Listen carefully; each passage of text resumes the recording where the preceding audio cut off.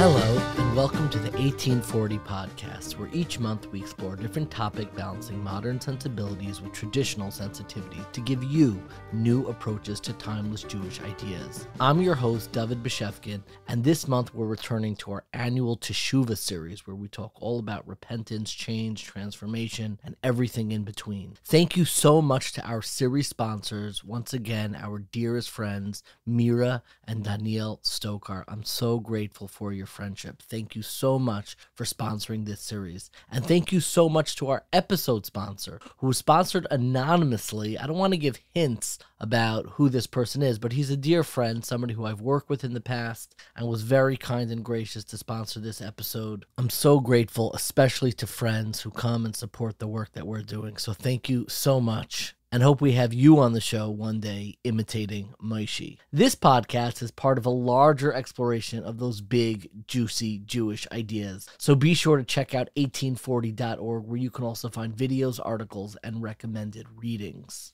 I want to actually begin our entire Teshuvah series by doing a little bit of Teshuvah of my own. It's not for the most serious sin, but it's something that I kind of honestly I let a friend down, somebody who we had on the show. We had during our books, books, book series, my dearest friend Sruly Besser. And part of, you know, why I thought it was so important to have him on the show was because of this WhatsApp group that he runs called Mi Ka'amcha Yisroel. Mi Ka'amcha Yisroel, it's a WhatsApp WhatsApp group, it's on social media, and essentially the phrase Mi Ka'amcha Yisroel means who is like your nation, O Israel. And what it does is exactly that. It shares little clips and videos of really just everyday Jews, not just celebrities, not just famous rabbis, but everyday Jews doing incredible things to remind you how incredible and how special it is the privilege to be a part of the Jewish people. I happen to love the account. I sometimes tease the account, but I mostly, nearly all of the time, love the account. I'm in their WhatsApp group and I follow them on social media, and I hope you do too.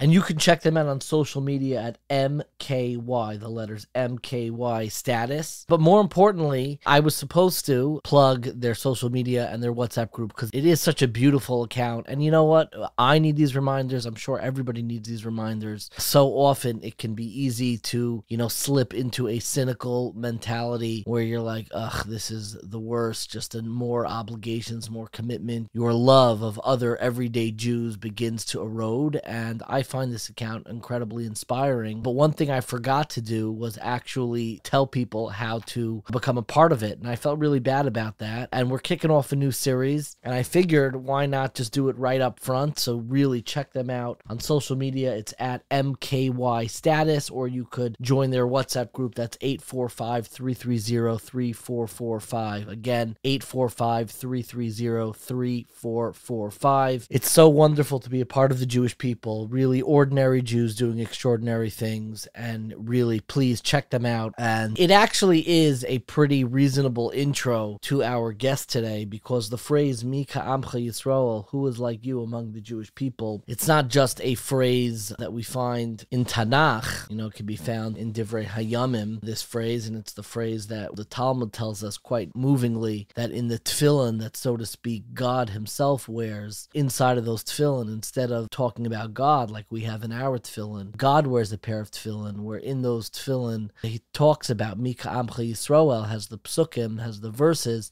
that talk about how special, how uplifted the nation of Israel is. And I think it's very easy to look at the Jewish people at times and forget that. You see people who are committed to davening, to studying Torah, to Shabbos, to all of these things, and it's very easy to forget and just focus on all the ways that Jews have disappointed you. And very often, when you're around people who are so close to you, the people who are going to disappoint you the most are the ones who are the closest to you. So it's a very necessary reminder, and in many ways, it's the entire mission, it's the entire purpose of our guest today, Rav Daniel. Daniel Kalish, who is affiliated with the Yeshiva of Waterbury, but he really does so, so much more. And my story with him really begins much before my connection to Rav Daniel Kalish. I feel obligated to share a little bit about how not just I, but my family is connected to his because it really sheds light on what our interview is all about and what our conversation is all about. The first time I ever spoke to Rav Daniel Kalish on the phone was on a Saturday night, a Motzei Shabbos where I was calling him. I think I was calling him to come to a different event, to maybe like an NCSY event. I was trying to get through to him. I, I hadn't re- really heard that many of his shiurim until then. I was familiar with the yeshiva of Waterbury, which looking back, I used to, you know, tease, joke around about a little bit on social media. And I figured I'll give him a call, get through to him. I got his cell phone number. I left a message. Nobody picks up a stray uh, cell phone number. I don't. I didn't expect him to. Uh, and I figured, uh, you know, I'll get in touch with him, you know, in a few days from now. And what was so remarkable is that he called me around uh, five minutes later. It was like very quickly. I was honestly shocked. You know, this is a person who has hundreds, if not thousands, of Talmidim, students across the world. But he called me back right away. And I think the reason why he called me back has nothing to do with me, but because our story really begins with our parents. The Rabbi Kalish I grew up with was not Rav Daniel Kalish, but actually his father, Rav Yehoshua Kalish. Rabbi Kalish was the rabbi in the minyan that I used to daven in, and with my father in the downstairs of Shaarei. And he was a remarkable person. He gave the Daf Yomi, the daily study of Talmud, in the shul that I was affiliated with growing up in Shaarei Tefillah. And I remember he, I think he would always give it on Shabbos afternoon. He would give this wonderful Daf Yomi shiur. My father, I think, did two, three cycles of Daf Yomi, and nearly exclusively with Rabbi Kalish. And Rabbi Kalish was very famous because most people, when they do Daf Yomi, it takes them seven and a half years to finish the entire Talmud. If you do one page a day, and when I say one page, I mean two sides of one page, what's known as a daf, it takes seven and a half years to study the Talmud. Rabbi Kalish was famous. I remember among us kids, we would always talk about it. He would finish, I believe, still continues to finish the entire Talmud every single year, which means that he's studying about seven and a half pages a day. Which even if you're even if you're just reading the words, you don't know the translation. That's still a lot of time. He knows the words, he knows the translation, he knows everything that goes in between. To do seven and a half pages a day and finish all of Talmud is something that is absolutely remarkable. And our families became closer. I remember because my father took care of Rabbi Kalish's, I think, sister-in-law, or maybe even sister. Her name was Rebbetzin Tova Fine. She is Rav Daniel Kalish's aunt. And I even think my father kept a picture of her, I think, in our house that we would just keep in mind to daven for. My father, as I've mentioned a thousand and one times, is an oncologist. And unfortunately, she succumbed to her illness. But I remember it brought our families closer together. You know, I don't know all of my father's patients. You know, they're obviously uh, HIPAA violations, but when you live in a community where, you know, everybody's close knit and people are coming by on weeknights, after Shabbos, on Sunday nights to talk about, you know, what's going on with their family, with their illness, with their treatment. So if you live in that home, you begin to know, you know, certain patients, not all of them, but you begin to know, you know, kind of who they are. And uh, Tova Fine was definitely somebody who was a presence in our home and somebody who I know my father was very close to and worked very hard to treat. Unfortunately, she passed, but our families became much closer. You know, it wasn't just a face in the shul. You know, I was a young kid at the time, but I became very close with Rav Daniel Kalish's father. I remember he had voice issues. He had a very hoarse voice. And I believe the story that I was at least told is that when his father passed away, if you're keeping track of all the uh, Rabbi Kalishes in this story, that would be Rav Daniel Kalish's grandfather. He urged Rabbi Kalish to take voice lessons so he wouldn't struggle so much when he's giving over Torah. And I remember he would come in shul and he would be practicing his voice exercises. He had a much deeper voice, so it didn't put so much pressure on his throat. And I remember that as a kid, just this person. And I, I found it really remarkable somebody who's in there, I don't know, he's probably in his 50s at the time, reinventing themselves, literally speaking with a new voice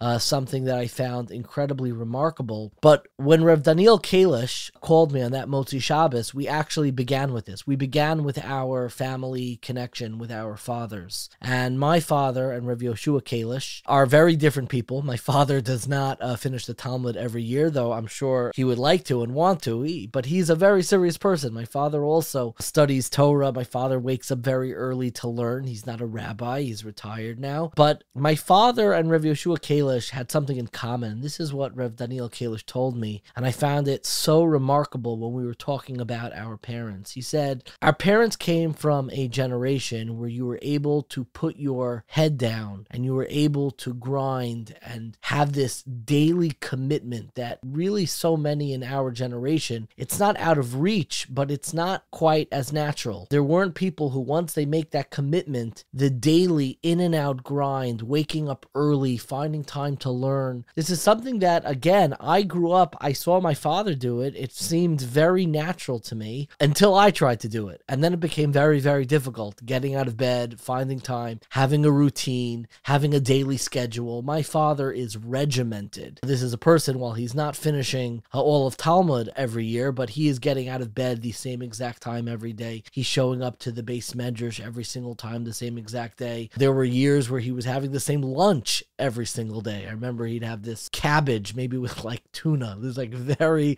low key. Maybe he even got it from the Sunshine Cafe. He started buying his own cabbage, but he was a regimented person. He was able to kind of put his head down, and the growth was very slow and steady, but over many, many years. And what Rav Daniel Kalish told me, which I found really remarkable and really true, is that this quality is something that this generation is struggling mighty with. We have a generation who's growing up where the path of Jewish commitment, the path of frumkeit, the path of committed religiosity day in and day out, kind of in a way has already been forged. It was the previous generation who, on their shoulders, previous two generations, people who were born in, you know, the 40s and 50s, people, it was much more rare. Their parents, that generation wasn't even American born for most people. My grandparents are probably the exception. All four of my grandparents were born in the United States between 1915 and around 1921. But for most people, like if you were born in, I don't know, in the 90s, in the 80s, and my students now born in the 2000s, the path of committed religiosity in many ways feels like has already been paved. The path is already there. And that has some wonderful consequences. It's much easier. It's easier than ever to be frum, to be committed, to be religious in a serious way, committed day in and day out. It's probably never easier. There's no generation who's struggled less in terms of keeping kosher, in terms of finding a minyan and finding Torah opportunities. Our generation has them in abundance because there was a generation that committed themselves to build these pathways. But there's something that I think there's a difficulty that has emerged from this, and I heard this in that conversation on that Motzi Shabbos with Rav Daniel Kalish, and that is people, when you walk on a paved road, the excitement, the sense of ownership is not the same like walking through a forest and building a path of your own. You know, leaving aside people who donate uh, highways and put their name on highways, you don't have the same ownership as if you were blazing a trail for the first time. And the fact that the modern religious world feels like a paved highway, it feels like it was already done. All the yellow lines are there, all the white lines are there. And it's very easy to kind of move in and out of traffic, and you're just kind of like, you know, waiting for the light to turn green and just go. And the paths are already there. Keep kosher, Shabbos opportunities, learning opportunities, davening opportunities. Like it's all there. And I think for a lot of people in this generation, myself very much included, you're kind of struggling with like, how do I find my own sense of ownership? How do I find my own pathway in my religious life? And it was this question that Rav Daniel Kalish, and he told me, I'm, I'm going to say something that people are going to think is insane. I don't think Rav Daniel Kalish would deny it, but he told me on the phone, he said, Look, I think what you and I are doing is very similar. That doesn't mean that he agrees with everything that 18Forty has ever done, but he saw a commonality in what we are doing and the way that he expressed it and it was like so moving. I didn't expect him to have ever heard of 18Forty let alone have listened to it with his own students. But he told me he had. And what he found i think what resonated with him is the fact that what we are both trying to do is help people really embrace their own story really find a way where their religious lives feel like they have ownership over this pathway. It's not a highway that only other people are made only other people are allowed to pave only other people are allowed to paint the lines on on, but we can create and forge our own paths and have ownership over them and really find our own story, something that he repeats over and over again. Really learning to embrace your own story and your own religious life in a way that because it's become so easy, because it's become so almost predetermined in a way, it feels, to give people back and to allow them to make sense of how their story coheres with all of the highways that have been paved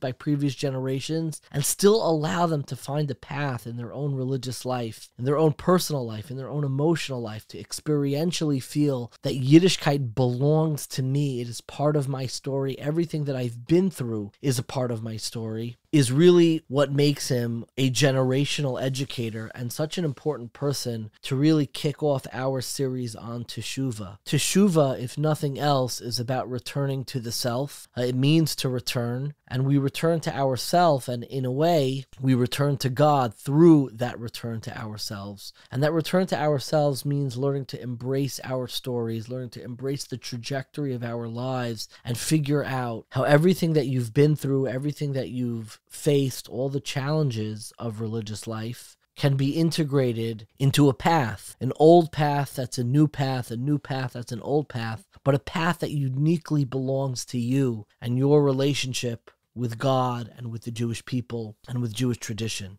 So I'm really so excited to share this conversation with Rav Daniel Kalish, but I want to make one important note before we listen in on this conversation. And that's something that's really remarkable about Rav Daniel Kalish. If you've ever met him in person, he came to speak at one event. He does something that is incredible that if you were to hear it for the first time or to see it for the first time, it catches you so off guard. You're like, is this really what we're doing here? He, at least the times that I've seen him, does not travel alone. He travels with students. The students are a part of his story and he is a part of their story. And he travels with students and he doesn't just have them, you know, sit on the side and, you know, kind of like bask in what he is saying. No, no siree. When he came to speak at an NCSY event with NCSY staff and leadership, he had them set up, I believe, like four microphones. He said, I want my students to be able to speak. I want my students to be able to sing. Singing, as we'll hear at the end, is a very foundational part of the Yeshiva of Waterbury. They've really produced some incredible songs, many of which I listen to in car rides. He's listening sometimes to 18Forty in his car rides, and I am nearly always listening to songs from uh, the Waterbury Yeshiva. But so much of what he's about is handing the microphone actually to his own students and letting them participate in the conversation. This is a generation who does not just want to be spoken to, they also want to share and discover and grapple with their own stories. So, a part of this conversation actually included Rav Daniel Kalish's students. I visited his beis medrash in Durnberry. I forgot what it's called. It's not actually in Waterbury. And we spoke in the beis medrash actually together and we sang together. It was very beautiful. And afterwards, we recorded and he brought his students along along with him. He brought a, a, select group of students to talk about the experience of what Waterbury is. I've always been moved. I started taking it for granted and I needed to pause for a second. It was almost to say what we began with this Mi Ka'amcha Yisrael moment of a Rebbe who is traveling with his students, not so they can listen in, but so they can speak. They also have a story. They also have something to share. They also have a path through the woods, through the forest, through the caves of life that they have traversed, and we can all benefit from listening to what they've grappled with and what they've struggled with. So it is really my absolute privilege and pleasure to introduce our conversation with Rav Daniel Kalish and, of course, his students. You and I, we look like we live in two very different universes, but we came from literally the same world. Your father was the Daf Yomi Magid for my father for three cycles. My father is a public school graduate.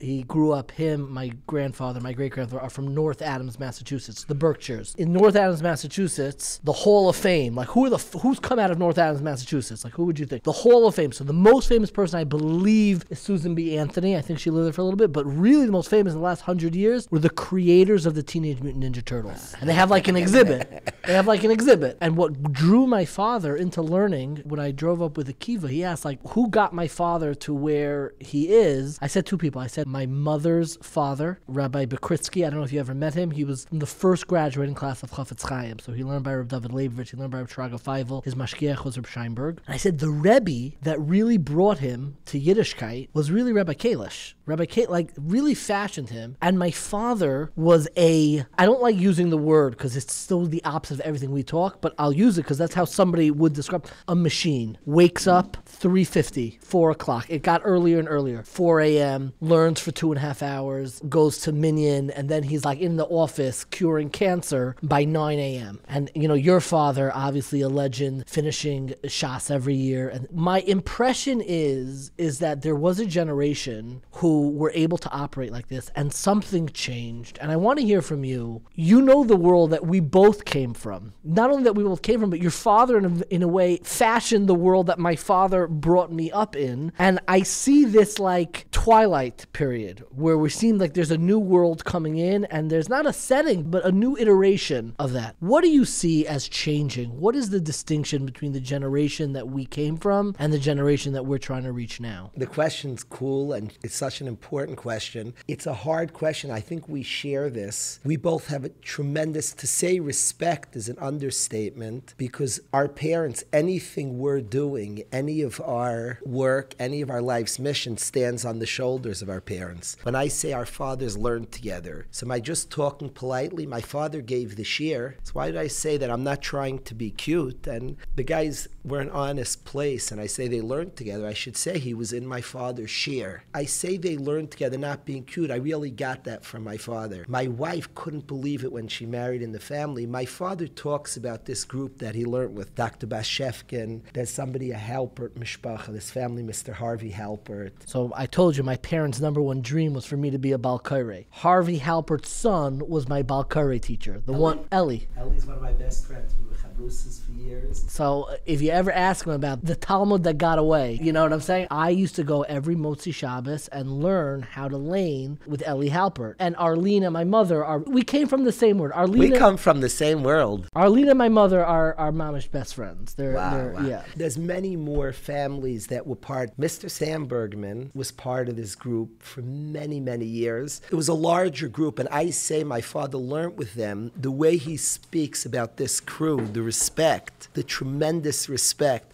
The Gemara Nedarim says that a lot of time Talmid Chacham's kids are not Talmid Chachamim. If you can believe it, Nedarim is one of my favorite Masechtas in Shas. It's the only Masechta I learned cover to cover with my dad. There's no other Masechta. How awkward, maybe, is to learn with your father a Gemara which asks that why are Talmid Chacham's kids not Talmid Chacham often? And I just learned that Gemara with my dad. I learned the whole Masechta. It's a little awkward. And the Gemara gives six reasons, I believe. One of the reasons gives me a lot of hope in my own life because one of the sixth reasons says that because Talmid Chacham call people Chamayrim. They call people donkeys. And if any way your Torah learning makes you look down at others, your kids are not Talmid Chacham. Don't look at it as an einish, as a punishment. The Gemara is saying something deep. And if your kids are not Talmid Chacham, it means it's not deeply you. Like Rav Tzadok, Rav David's a big chassid. Rav Tzadok says your kids are your deepest secrets. Your kids are not Talmid Chacham means you don't really have it. That's what it means. So the Gemara says, you know, when you don't keep Torah, it's not you, it doesn't go to your kids. The Gemara says, if you call people Chamayr. My Father all the years, his respect for the people he learned with, he spoke glowing. My wife like wanted to meet these people. And your father amongst them, there was no pretend to it. And when I say over the history, I say they learned together because the mutual respect was just real. How he was saying the shiur, my father, but he speaks about people like in the most, not just speaks about them, the attitude and the truth of him looking up and speaking in the highest esteem of this group was how I grew up. What I want to say and what both of us is a struggle. Anything we have is on the shoulders of the previous generation. The danger of a generation that would look down at a previous generation is crazy. We believe closer to the Har Sinai. The respect for, I think about my grandmother. My Oma's anything we build is just after she did what she did. My father had wonderful, my grandparents were amazing people. My father was in a mixed school and decided to become a Bentayda TV in every room and didn't watch for 10 years, decided he wants something different, anything my siblings and I do was on his shoulder and is because of his successes. So when we're going to have a conversation about today's generation, it's not just like give the obligatory, of course, they were chashuv before. No, no, no. It has to be like stated with such care that it's built on the previous generations, what they did. And every generation has a task, a duty, a responsibility. What we grew up in, what I saw, I went through high school. I love my rebbeim. This is not a knock. They were doing what was supposed to be then. And I never once said to a Rebbe, I feel insecure. I was a people pleaser. I never once opened, not I didn't open up to a Rebbe, I never thought about it. It wasn't spoken about. People pushed. You learned the next blatt, you pushed hard. It was amazing the accomplishments of a generation that pushed to learn, to accomplish, to be bigger, to be better. And that was an incredible amount of accomplishments that people did and brought us incredible places. You have a generation today, and I'm like tapping in, trying to tap in. We're sitting with a whole bunch of guys here that I want Rabbi Shevkin to meet. I want everybody to meet who are my Rebbeim in this aspect of feeling. I realize and I'm realizing how many walls I built myself. When I say feeling and getting in touch, I mean, I'm not just saying to do emotions. I don't consider, well, I'm not so into emotions. I'm not the touchy feely type. I just call it honesty to get to very deep places inside of us, to acknowledge and recognize. You spoke to the guys before that story in Portland, and this is what, like, we connected on this point of really feeling our stories. We're sitting right now around the table. We're a group of people around the table. When I tell people, know your story and know your kid's story, you sound like a comedian. Know my story? I can tell you I went first grade, second grade, third grade. The story, we're all in this room. We're not in the same 10 people in this room that we have different stories. I'm sitting here hoping this sounds okay, I'm hoping, thinking I'm thinking. Rabbi Shevkin's hoping Kalish says something half smart. Chaim's hoping they don't ask me this. What am I going to share? At so our story is not what's happening externally. It's very nuanced inside. Kids today are feeling real. If I could share a story that happened in Yeshiva, there's not a stitch of exaggeration to what I'm about to share. I want to say it delicately. I'm not going to give all the details details, but I'm going to give the details that I can give, and this is just what happened. There was a guy who came to yeshiva who wouldn't daven, but a macha, he would not daven. B'shumpa, He would sit in shul. He's a disciplined kid. Would sit in shul, wouldn't daven. Bishita. I was very close to him. I am very close to him. Really close. Tremendous yedidus. And I thought I wanted to be like just gently, I want to show him that you could say a little, maybe like he has an all or nothing part to him. So I wanted to literally show him by Ma'ariv that there's something like say Shema every Yid, you know, Shema, say this paragraph of Shema, the first paragraph. I wanted to show him it's not all or nothing. There's something called, so I say Shema. So I give him a siddur, and I just show him, like, as like we're close, I open the siddur, like, say this. And I wasn't saying, like, as a way of getting to play, just say this, like, to say Shema, it's worth to be born. He got very emotional and just shook it up and, like, waved me off. And after davening, he started crying. I can picture it now. And he said, Rebbe, don't ever do that to me again. Don't ever do that again. Very shaken, a very honest, real person. What is he talking about? What did I do? Now you could just wave off kids today. It's easy to wave people off kids today. They're not, but he's not. The problem is that he's not nuts. He's a very cool kid, very smart very sophisticated. What did I do? We both talked about it. He was allergic to pretend. He went through a lot in his life, the word contrived. And when we say, just be a decent kid, like do it, we go into shul and just little, like what's the what's your deal? Like, can you be like the rest of us? His story brought him there, and he's a kid of today. He's allergic to pretend. And I said, just say this. Don't ever do that. I thought in you I can find somebody who gets I want real. Now, when I say that, all of us have pretend places. There's nothing wrong with trying chitzonius. We all have aspects of that, but the base, the goal, the focus has to be real. In authenticity, this guy today prays, and I promise not every shackle is real, but there's an authenticity to him. This guy today has a connection to Shabbos. I don't know in my life. I've seen Gedolim. I don't know in my life. I can't weigh it, but when I'm around him, somebody's attachment to Shabbos, he waits all week for Shabbos. I could describe his Shabbos and he's formed an attachment to Yiddishkeit that's deep, that's profound, because he wants to feel, he wants to connect. That's what I see in the generation. And in contrast, it hit me that like our parents' generation had this uncommon ability, this drive to do what you need to do, to get it done. And they were the first generation post Holocaust. My father was born in 47. I don't know if you want to announce the year your father was born right now. And they had this ability to drive, to drive. And then we they built this like kind of edifice of Yiddishkeit institutions, yeshivas, schools that they my father did not grow up in this world. And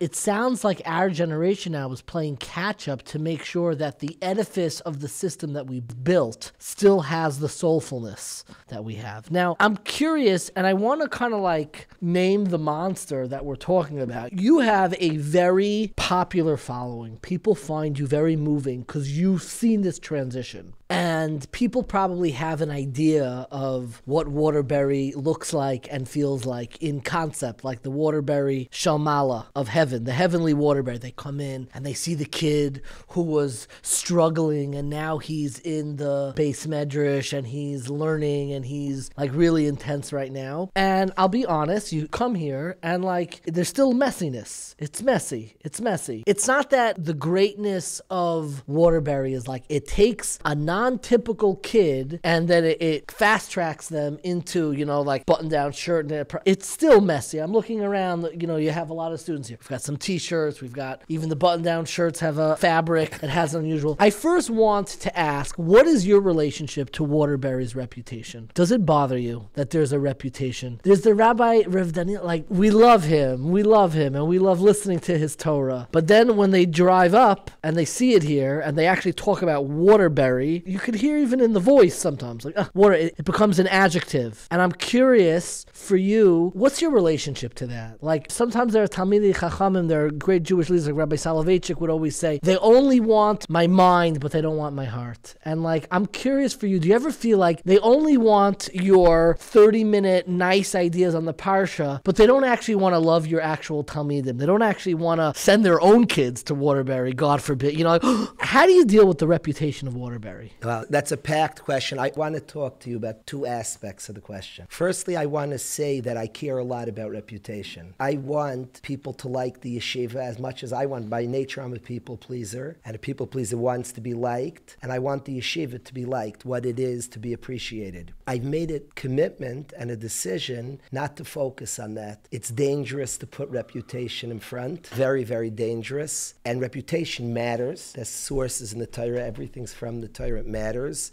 but I made a decision, but like written in blood, that I will put reality over perception because how much is sacrificed by how it looks. I think it goes right into what people say is the goal. Like, how does it look at the end? People come here, it's interesting. There's a magical component of simcha that's here. You're here. There's an energy. That, this is a school in people's lives. Have you ever seen in an honest way the happiness that's here? There's an energy of growth that's magical to say it looks neat and easy, that's not a truth of our lives. People send their kids as if, and people are afraid to send their kids, as if like the goal is like you have a new manipulative way to get that end game of what the school, they have their way. The school couldn't get a kid to a certain place. Let's have a different trick to get him To there. get them to that. What about that we all have a soul and could we be honest and just there? Could we just be ourselves? Could we just really be and it might not look what a parent wants, but could we just be ourselves, this beautiful self, and ourself with, with our pains, with our history, with our stories, but just be a reflection of the self. And it's not an end game of, well, now you look the part. Many people have tried to make Waterbury's, but will negate certain dangers that are here. What it is is an honesty. You are safe being you. It's a very unique place. I consider it the safest place on earth because I call safety is different than the system. You're safe being you. And I'm learning from it myself. And even at the cost of it not looking pretty, it's not designed to look pretty for other people. Though I do say when people come, they see aspects that are, whoa, there's a happiness that exists here. The word chios, there's an energy, there's life. The life of somebody who's being true to themselves, the life of somebody who's honestly growing. So I do want people to see it. One of the knocks on Waterbury is if take this place is designed for Mitsuyanim, not in a joke. My own four sons have been here, the guys around this table. I think many of our kids of Klal Yisrael should come here. I dare say all. And I get in trouble for that. If you're safe, listen, if you're helping our struggling kids, we're so proud of you. This guy's nuts. He feels and the answer is, I was asked, I'll tell you a true story. I wanted a guy, I didn't tell the guys, I wanted a guy to be a dorm counselor in yeshiva. Thought it'd be good for him. He meets with me, and his Rebbe coached him for the meeting. He said his Waterbury is one question. His Rebbe told him to ask me, is Waterbury l'chatchilo b'di'evet? Is it ideal or is it like a second? Yeah. yeah. I said it's ideal. He said, my Rebbe told me that I shouldn't come. Did that hurt your? Like, how do you react as an individual? It's painful. Of course, it's painful because of what I want the yeshiva to give and to be. I want it to be a place of biko she'emes. And to say honesty is not ideal, that's complicated. When you ask the personally, does it hurt? That we all grow, you know, we all grow in our own journeys. There's a person very separate from the yeshiva. Mm-hmm. So, in that sense, you know, that would change younger and older. I'm at a different place in my life than I was younger. But for what I want the yeshiva to be, the yeshiva is not a place to help a struggling kid. It's not at all. It's That's not how you look at it. Like Zero, zero. No, it's a place that there's a place on earth that you can be honest. That a guy can come here. I'm trying to plug into it myself. This whole place happened miraculously. I'm getting, I'm in like an 11th grade. I'm behind some of the guys sitting here. It's a place you could really get in touch with honesty. And an honest, could I give the visual? The kid sitting in ninth grade class, and the Rebbe says a rashba and says, Rabbi Yisai's geschmack. How many kids in the class feel that really was geschmack? Now, the goal is will some eventually feel it's geschmack? Yes. And many will never feel it. And the sense, if I play enough, meris I'll one day The feel it. interiority will wake up. Yeah. That's your Yeah. general feeling. I'm not convinced that many people believe me and you as we are, with the inner who we are, as we are, that inner person can embrace and connect Yiddishkeit. We share something, Reb David, a lot. You were describing that you use modern day techniques to show new entrance ways into Torah and Yiddishkeit. God's everywhere. And finding our own connection to Hashem is in every aspect of ourselves. I don't think it's limited to one part of our human experience and a place that people can be honest. I see so much emuna here. The amount of emuna that I see in yeshiva of sincere, authentic service of Hashem. Nobody makes people from here. It's interesting, Reb David, when guys come here initially, they're like waiting for the hero to ride in and save me. I want to introduce five guys in their story right here, and what will be seen, nobody rode in and saved the day. People are allowed to exist, can initiate conversation, asay lecha rav, kanei lecha chaver, and in an honest way, in a very comfortable way, find the truth. In a very unique, in a very authentic way, find their truth. This idea, obviously, anybody talks about chinuch, speaks chanoich pidarkai, that we have our own unique path and journey. Do we really facilitate that? Do we really allow that? I want an environment that really believes in each person's uniqueness, each person finding their own unique connection to Hashem, their own unique connection to Torah, to mitzvahs, their own unique passion and meaning. So that's what Waterbury is. That's what you're seeing. I'm curious how you deal with the mainstream, and I want to actually ask you a question. I don't know a way to phrase it, but I'll, I'll phrase it. But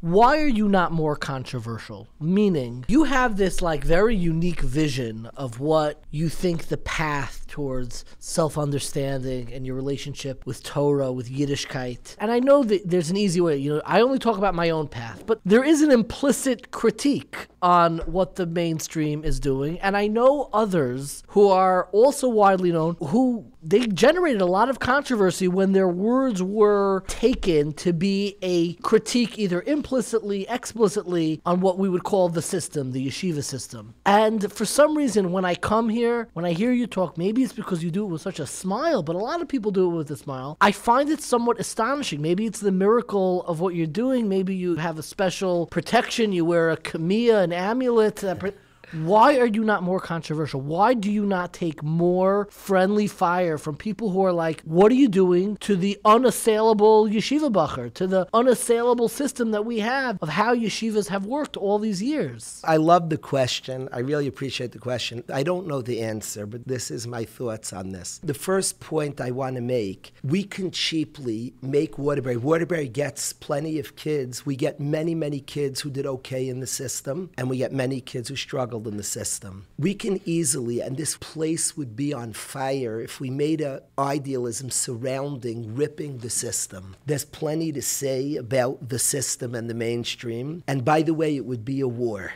Then trust me, that would be fire. And you asked, There would be, that would be fire. And we could do it because there's much to say about any system. That's not the energy of the yeshiva. And I want to say that I think it's a cheap way when people have an idealism, you make a them. And you make a them, and whenever you have a them, that's a geschmack way of uniting people. We could sit around this table and attack them. And I promise every guy at this table could have that Rebbe that did it and that's not the energy here. And if we had that energy, there would be arrows. That, and we have tough guys here. Yeah, it would be be. This would be a move. war yeah. paint. Yeah. We. By the way, it would draw more people. It would be in a way more popular. It would be more complex, and it would be very divisive. I don't think there's a them. There's no them. Whenever you speak about chinuch, you know, you say only love. Could you tell me the Rebbe doesn't? There's only us. There's only us. All of Klal Yisrael's us. When we're going to speak to guys here who are my heroes, they look at Rebbeim they had, and we're on our journey to that. It's us. It's all, there's no them. The school system's us. I don't even feel like the school system. I don't know if I would do it different. I don't know. You know, you need a system. You have a lot of people. I think we could add something to us. And I think that's the energy of Waterbury. That's the energy of this yeshiva. We don't view as a them. I spent thousands of my own money, thousands of dollars. I put probably over $10,000 my own money, yeah, not probably, more than $10,000 the first years of the yeshiva. I personally sponsored that the yeshiva went to Lakewood for a Shabbos.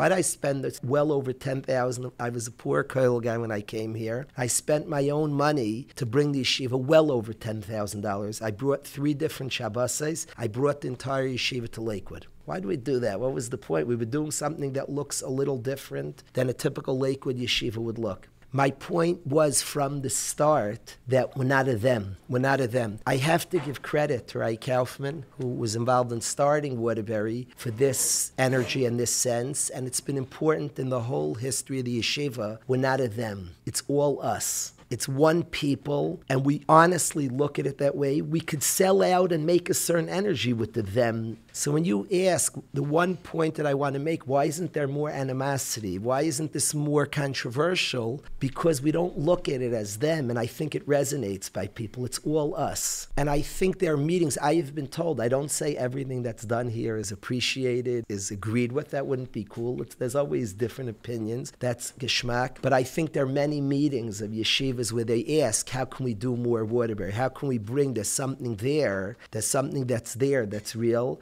Think that's an important part of what the yeshiva is. So that's one aspect that I think is very, very important. The second aspect that I think is important is to know I'm a very small person. It's not said humbly, it's said that this is not meant it's very dangerous. You make revolutions. Listening to your podcast, I feel like a kindred spirit in this way. I'm just doing my own story. I'm not trying to create something. I'm much too small. The big scholars tell me the chamim. I come from a father who's a giant, and I'm a person struggling to find time to learn. I'm just trying to do my own story. I've been changed by the guys. I went into this. That's a story for itself. And I'm just like learning all the walls I've built and taking down walls to my own. I didn't know I was a people pleaser till a few years ago. I actually want to talk about this. I want to get to some of the stories that we have surrounded, but only on the condition that you don't leave, because I want. staying- I want to hear myself. Okay. I want to start with your story because I assume your plan A was you. Are you the oldest son? I'm the second oldest the son. second oldest. I don't, but you're the son of Rabbi Kalish. You know, I'm, I'm doing hand motions. You know, you grew up with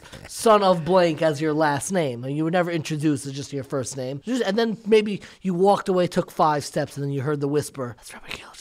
You know, I probably grew up hearing that. I grew up. I still hear that, and I, it's a point of pride for me now. But I'm curious. You always talk about how you changed, or you realize you, you know, you, you were a people pleaser, and you. Is there a point that you can place in your own story? I mean, I looked. There's this video that went viral of you showing up at an airport and you being danced by students, and I saw that. I I got emotional. I got emotional. We didn't even know each other then. We we literally did not know each other. You give me permission to say that there's a kindredness. I think if somebody saw me from a distance, like Bashevkin, like in your dreams, is there a kid? I, I really do feel it. I really do in, in, in the way I try to go about things. And you showed me a possibility that what I'm trying to accomplish can be done, can be done with a sweetness, with a not everything that you say. But I'm curious for you, was there a moment that you feel like you arrived or you felt like, oh, now I see what I'm trying to accomplish? Where do you place in your own mind? You were on a trajectory to be, I don't know, Rebbe Kaler's son. He'll also, I don't know, finish all of Talmud Bavli every year, as your father is famous for. He'll also become a, you know, maybe a Rebbe in Yeshiva Far Rockaway or whatever that path was. And now you're doing something very different, which is scary. When did you feel like what I'm doing that's different, which is scary, is what I should be doing? Yeah, it's a great question. The answer is long, and I'd love to share the whole story. One point, I have personal reasons that I don't share the whole story yet. I want to share the whole story. What I want to say relevant to this question is I've had people ask me, You're the voice on feeling, Kalish? You're the voice on emotion? People that know me to my core, you're a smiley guy. Are you in touch with your emotions? You've become a voice of something to the, a degree that you're not even great at. And when you talk about, you know, the scene at the airport, I look at it that it's not mine. And I look at it that it belongs to the guys. When we're sitting here now, we're sitting with a group of guys. I've stolen what's theirs. And I've learned from guys something, and I'm learning. I'm very in middle, learning something that I see in today's generation that's moving me. And how this all happened, I get right, Catherine asked me to come to Waterbury, and I was involved. I brought older, very serious guys to Waterbury. One is a principal today, one is a Shas Yid who started, a famous therapist. They were Talmidei Chachamim, very strong guys, and I was going to learn with them. And Rav Kaufman brought 20 younger guys who were more energetic and had a certain vision. Along the way, I got involved, and a lot happened along the way, Bashkachas Hashem. Along the way of learning with guys who are figuring out life, I started seeing things, and I'm still, this is a continuous journey of people that are feeling, experiencing, and getting close to Hashem in ways that I think is life changing. That I think somebody could pray to God in this authentic, sincere way that's life changing. I was woken up four in the morning by a dorm counselor on this campus the corner. They knocked on the door of the hotel where I'm trying to get you to come for a Shabbos, Rav David. You won't be woken up. They won't mix doors. And they knocked four and one. Wake up. We need you. We need you. They were holding down a bacher, the strongest dorm counselor, Nachum Wolf. So oh, I promise you that Nachum Wolf had blood on his shirt. I promise. He had blood on his undershirt. He was in the middle of the night. He was holding down a bacher. I don't think it was his own blood. I hope. I don't know if it was the bacher or the guy he punched, but they had blood on his shirt. And they woke me up. They couldn't manage this guy. And I walked with him from 4 to 7 Shabbos morning. We were talking, we were walking around the campus. He showed me that he has a notebook of letters to God that he's written, this Bacher. He's 16 years old. He has letters to Hashem that he's written. I didn't write any letters to Hashem at 16. I knew Masechtas Gittin very well, but this guy wrote letters to Hashem. He was in a very serious relationship to Hashem. I ended up, we made a deal at 7 in the morning. We said we both need some sleep. And we made a deal that he'll work on making me from, and I'm going to work on helping him get healthy. That was the deal we made seven in the morning. I started finding there's emuna and honesty and connection that runs deep people that are getting in there and figuring out and resolving. And again, this doesn't need a kid who's struggling in that way. There was a beautiful person. Many of our youth, in figuring out their own emotions, their own situations, that kid who wouldn't daven, and when you hand them a siddur and you look at him, what's his problem? Why can't he be like us? We just plowed through. What's this new generation? I don't get them with Shabbos. Just like, go, come on. Today's generation's protesting that ka'echseif nayam Shabbos. We crave Shabbos. They don't just want to keep Shabbos today. We want to be crazy. Now you got to keep it on the path to craving it. But it's a generation that's saying ka'echseif nayam Shabbos. We crave Shabbos. That's what I'm seeing. It's when you ask, is there one moment? There are definitely moments that happened. We went through a big tsar in yeshiva. We lost two students that um, that mean a lot to me, that meant a lot to me, and that caused a lot of thinking. I think the trajectory of yeshiva changed. Eli and Danit were nifter on the way to yeshiva. I look at that that whole period, a lot changed. Really, before that, I was building a yeshiva. From that time, I didn't. I don't care. I'm not building a yeshiva. It became much more about people, about a mission. It stopped being about an institution to me personally. As an institution. Yeah, things changed a lot. Then that's a story, that's a history of the yeshiva that was definitely life changing. I do point a lot. I don't want to make it overly dramatic because there are much more subtle and minor things. When a kid told me when I handed him a siddur, don't ever do that again, and cried, those are moments, and I have many moments like that where kids kids have expressed, I would be positive, and a kid would tell me his sad story, and I'd cheer him up. Some guys liked it, and so I said, You're not feeling what I'm saying. And then I started saying, He's right. I'm cheering him up, but I'm not in pain. I'm not feeling his pain. I'm not feeling what he's feeling. I'm not like listening to what he's saying. I'm not experiencing what he's experiencing. And when you experience it, we're so afraid of that, and we build walls not to. Actually, places we can get to of closeness to Hashem, and all different places we can get to. And that's really the continuous journey. I don't want to make it like it happened. It's happening. There have definitely been moments, things happen that are leading me this way, but that's what I see. I want to kind of open it up now because so much of the kinship that I feel, aside from you are much more successful than I am at avoiding controversy and difficulty. I got to get better at it than that. But what underlies is is the story of the humanity of our Yiddishkeit, of our religious commitments. And you brought like, I mean, it's so moving that it's so people centric. Usually, you go to a yeshiva and you go to an organization. I don't want to make it. I'm involved in organizational life too. When somebody comes to visit, you bring out the brochure children, the children who are going to be right in front of the brochure. They're dressed a certain way, and they're you know, and like when I look around, and I'm not saying God forbid that none of all of you should be are beautiful enough to be on the cover of any brochure, but it doesn't feel like you picked the cleanest cut like, oh, you, you, let me show you our prized, pristine, you know, just got a haircut earlier in the morning, you know, I mean, change, change your shirt, change your shirt. You know, you don't have any of that. I want to hear why. I want to open it up. Tell me, can we listen to a story? Can I interact on, Yeah. on a level of story? Yeah. This is new. This yeah. is different. yeah, let's get right to it. I spoke a long time already, and really the guys should speak first. They deserve. I'm a student here and, and trying to grow myself. This point that you're describing who you show, how you show it, I'll tell you an interesting story that we have a guy who graduated. He came to the yeshiva with a black yarmulke, and he was the like the good kid, nice kid, and he left here looking not clean. He has a relative who's rabbinic. When I see him at weddings, he goes, No, no, my cousin. And he makes a motion with his hands, like, Kalish, you blew this one. now, there's nothing I could say. If his cousin didn't feel close enough to tell him his story, I'm not going to. And I just shrug. What? This doesn't. It's a question that doesn't have an answer. What he doesn't know, his cousin, when he came here, to nace. He's alive by the age of 20. Went through severe trauma. I can't. I'm not right now going to share his story, but he went through tremendous amounts. When he came, he might have looked from. He wasn't from. He left here a beautiful person. Today he's older, well on his way to building a good, beautiful from home. People's stories are continuous when they're in touch, when they feel, when they experience, and it can't look pretty for people. In the room, who I brought and who's here with us are from the most honest, successful. I specifically guys who grew together with family members. That was important to me. I feel like when people are honest to their story, it's much more impactful, the growth. We all know the term like a flip out. Somebody, there's a way of growing like chitzonis meres apnimis. I don't find it inspiring to people around you. You just made it and you fight through.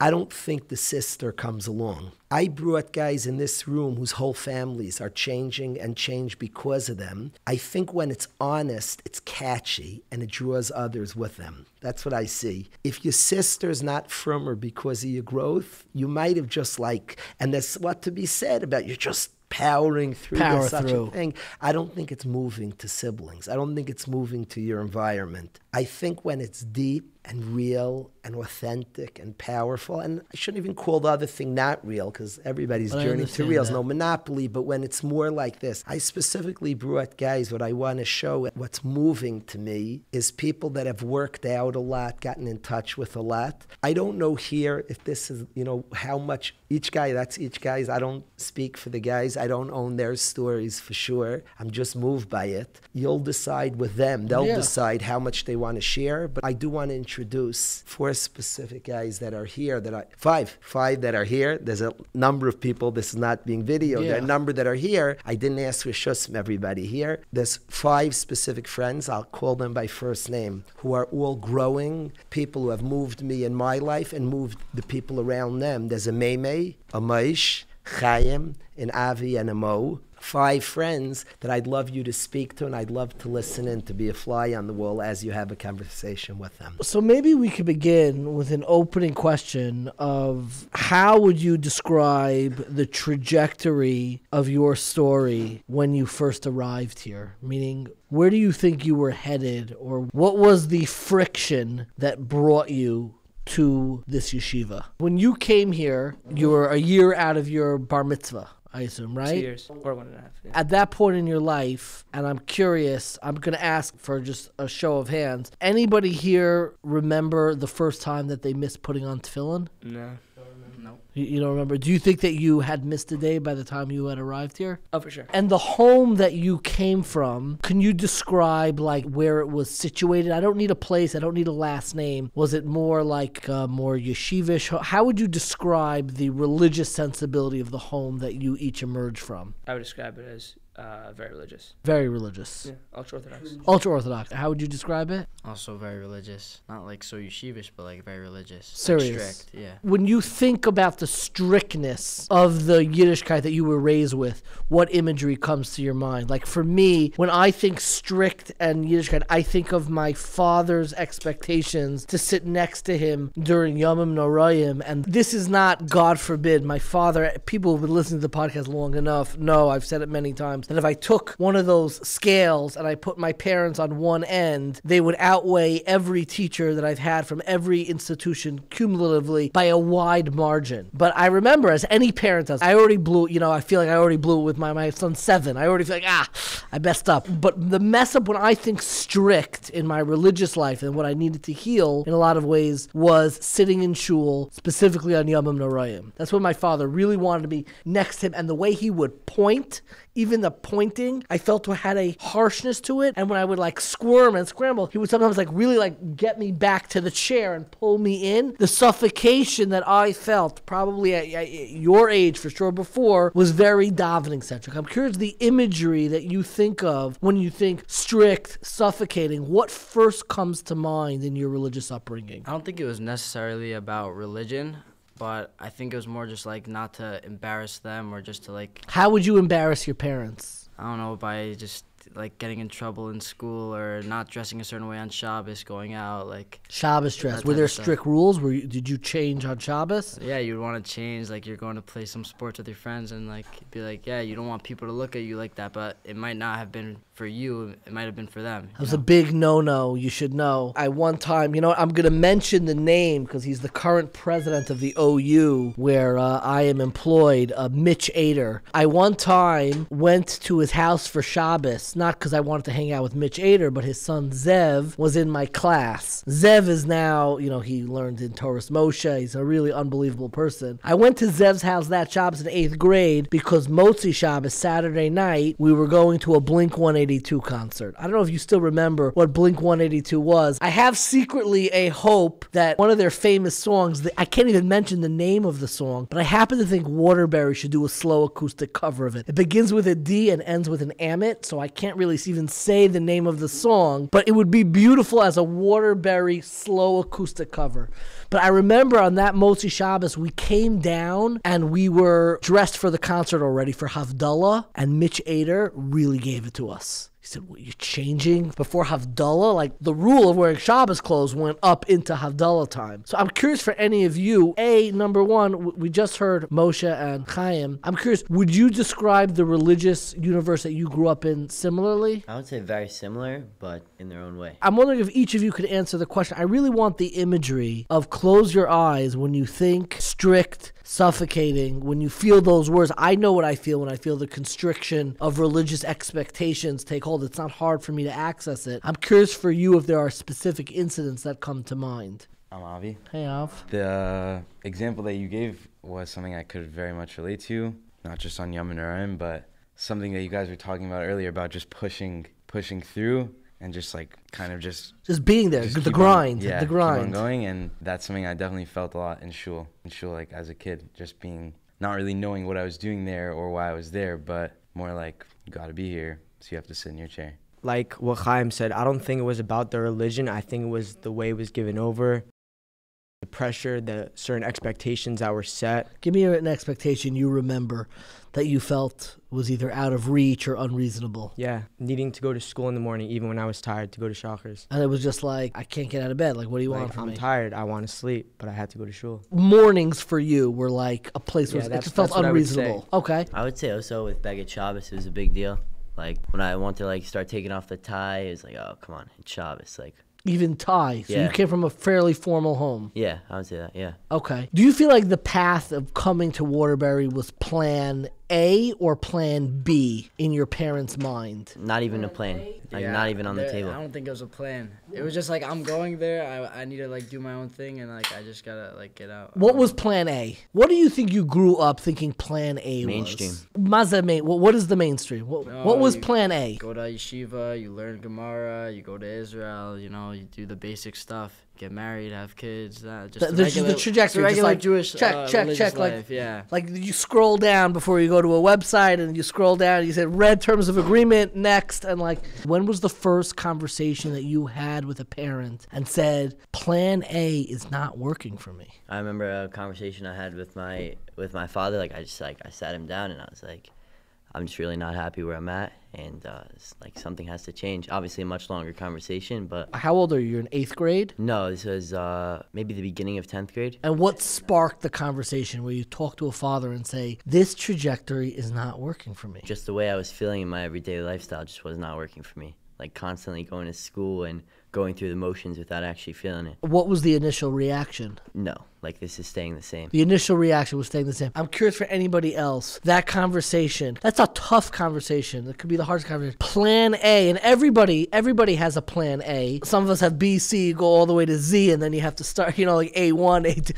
But I'm curious, remembering and coming back to that initial conversation, plan A is not working out the way we thought it was. Yeah, I was in ninth grade, and like you said, like what sparked it actually, my brother sparked it. My older brother, very cool. As, as we said, every time my relationship with my brother, had- even back then, I had a regular relationship with my brother. Obviously, it went on to new levels as the years go on. Your older brother, Yeah, my older brother. was he on the what I would call the plan A trajectory? I don't think so. He was also in Waterbury, happens to be. Okay. Yeah, so So the fact that he was in Waterbury, I'm just curious. definitely changed a lot. That's why I was gonna say. Did that make your parents more nervous or less nervous? Less. Less. Okay, so you had a brother who was there, but you were not on the going to Waterbury path at the time. Um, well, you could say I sort of was. They just didn't. No one really spoke about Waterbury. Like I was just, you know, in a couple of yeshivas. It didn't work out. Why didn't it work out? It didn't work out because they wanted me to be a part of the yeshiva system, in which I was already like. You're talking too big for me. The the yeshiva system. I was in a yeshiva called Okay. in which they understandably wants me to start davening in the morning, and they want me to go to Gemara shiur. And both of those, I had no idea why I would do it. And I feel like I was at the point in my life where I could say like, oh yeah, if I don't know why I'm doing this, then I'm gonna stop doing it. And that didn't work out for obviously the For the. the fact that to be in a yeshiva, you have to want to be in a yeshiva. So, or at least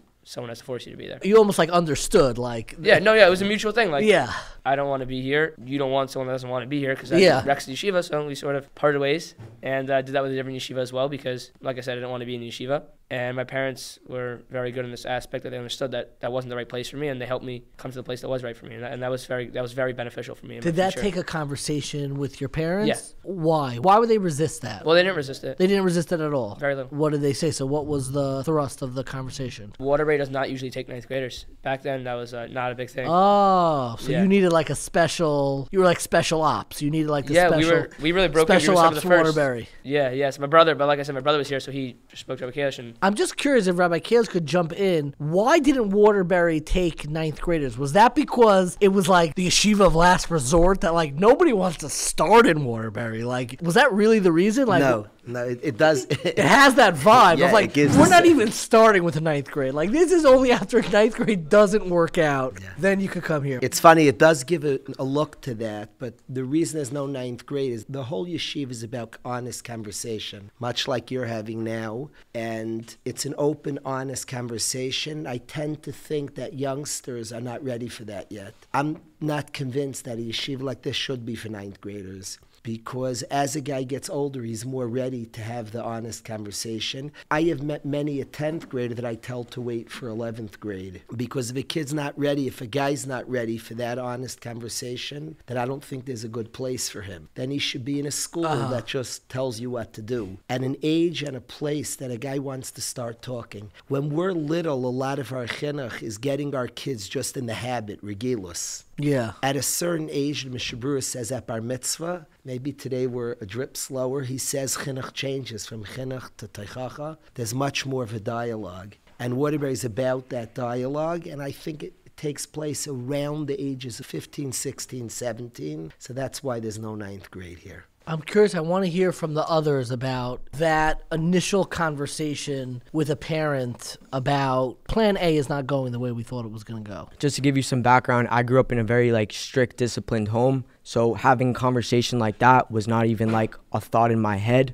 Now my parents are extremely understanding and I'm able to have honest conversation where I feel comfortable that they listen and they understand where I'm at in life, which is amazing. But let's rewind to when that was challenging. Yeah, yeah so growing up, I would never think about having conversations with them like that, of that sort, where Why I would not? tell them because it was just very strict home. Like, What were the rules? I mean, you had mentioned a a couple rules before. Where did the strictness in your home come out? You had a dress code in your house? Like, what, when you say I grew up in a strict home, what does that mean? you had to do what you were told, and that's just the way it was. Uh huh. And when do you remember either a parent approaching you or you approaching a parent? Do you remember which way it was to have a conversation like this? There was never a conversation like that because it was just not something that I even thought of. So how did you? How did I end up here? I was in in five towns and Yaakov Richland, who is someone who learns here right now, was a Waterbury guy and he sent me Rabbi Kalish's number and I called Rabbi Kalish and asked for an interview. You called directly to Rabbi Yes. Kalish. Did your parents know that you were doing that? My parents knew. Okay. They were not willing to make the call, but they said if I make the call, they will go to the interview. I actually like that, meaning they placed the agency Yeah. in your hands. If you Yeah. really want to do this, Yeah. okay. Yeah, it just wasn't working in my old school. So I called Rabbi Kalish and I went to his house on a Motzei Shabbos. We drove two hours and we sat down for an interview. And after it was decided that I would come to Waterbury. We're missing one. Do you remember having an initial conversation about coming? Yeah, I think it was more like a couple of conversations over a couple of weeks. I was in a yeshiva that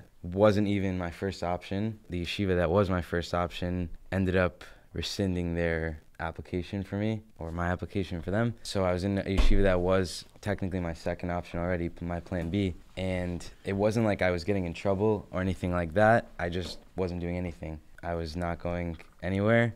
And over a couple of weeks, my parents were just talking to me. They were saying, like, what do you want to do? They gave me some options, and to their credit, they really tried to help me. And but whenever I brought up Waterbury, it was it was a hard no. It wasn't a conversation like what you're thinking of. It's not. It wasn't even something close to that. It was it was just that's not even an option. There's drugs there. Like I can't. They can't shut do it that. down. Yeah. So what eventually prevailed? I think it just got to a point where they kind of they realized that there was no other option for me and But for them, in their minds, this was a, really a place of last resort. They thought that this was like a. yeah. Do they still look at it that way? Oh no, for sure not. I'm curious, when did you feel, was there a moment or a conversation that you felt that you had a new way of approaching Yiddishkeit itself? What exactly was a turning point, not an arrival, but a change in trajectory in, you know, what was otherwise suffocating and felt very restricting? And I don't mean in a strict sense, there were a lot of rules, but restrictive of your sense of self. When did you feel like there was a turn that Yiddishkeit is something sustainable for me now? I would say it's not something that I could pinpoint at one point in time. Uh, I've been here for four years since I was in ninth grade, and it's all about slow growth. It's a really long process. It's not just something that one day I woke up and I decided to put on tefillin. It's not just one day that I woke up and decided to try my best to keep all the mitzvos. There are some points, some milestones for me that, that I could say What's a milestone that jumps out at you? I think I was in 10th grade. I was in camp for the summer. I was in a traveling camp for the summer, and I put on tefillin for the first time in a while. I just had a feeling to bring it. It was on the packing list. And I just decided to bring it. And that was even a choice at the time. Like maybe you won't bring your tefillin. Yeah. Okay. Yeah, I wasn't consistently putting on back then, and I just decided to bring it. And yeah, I've been uh, doing my best to put it on ever since. I'm curious for all of you, and I don't know, Rabbi Kalish, you can, of course, pull the plug out at any point. There are two things that I'm curious. Does anybody here still struggle with putting on tefillin daily? Of course. Yeah. Yeah. Of course. Meaning, and you miss days. Yeah. Yeah.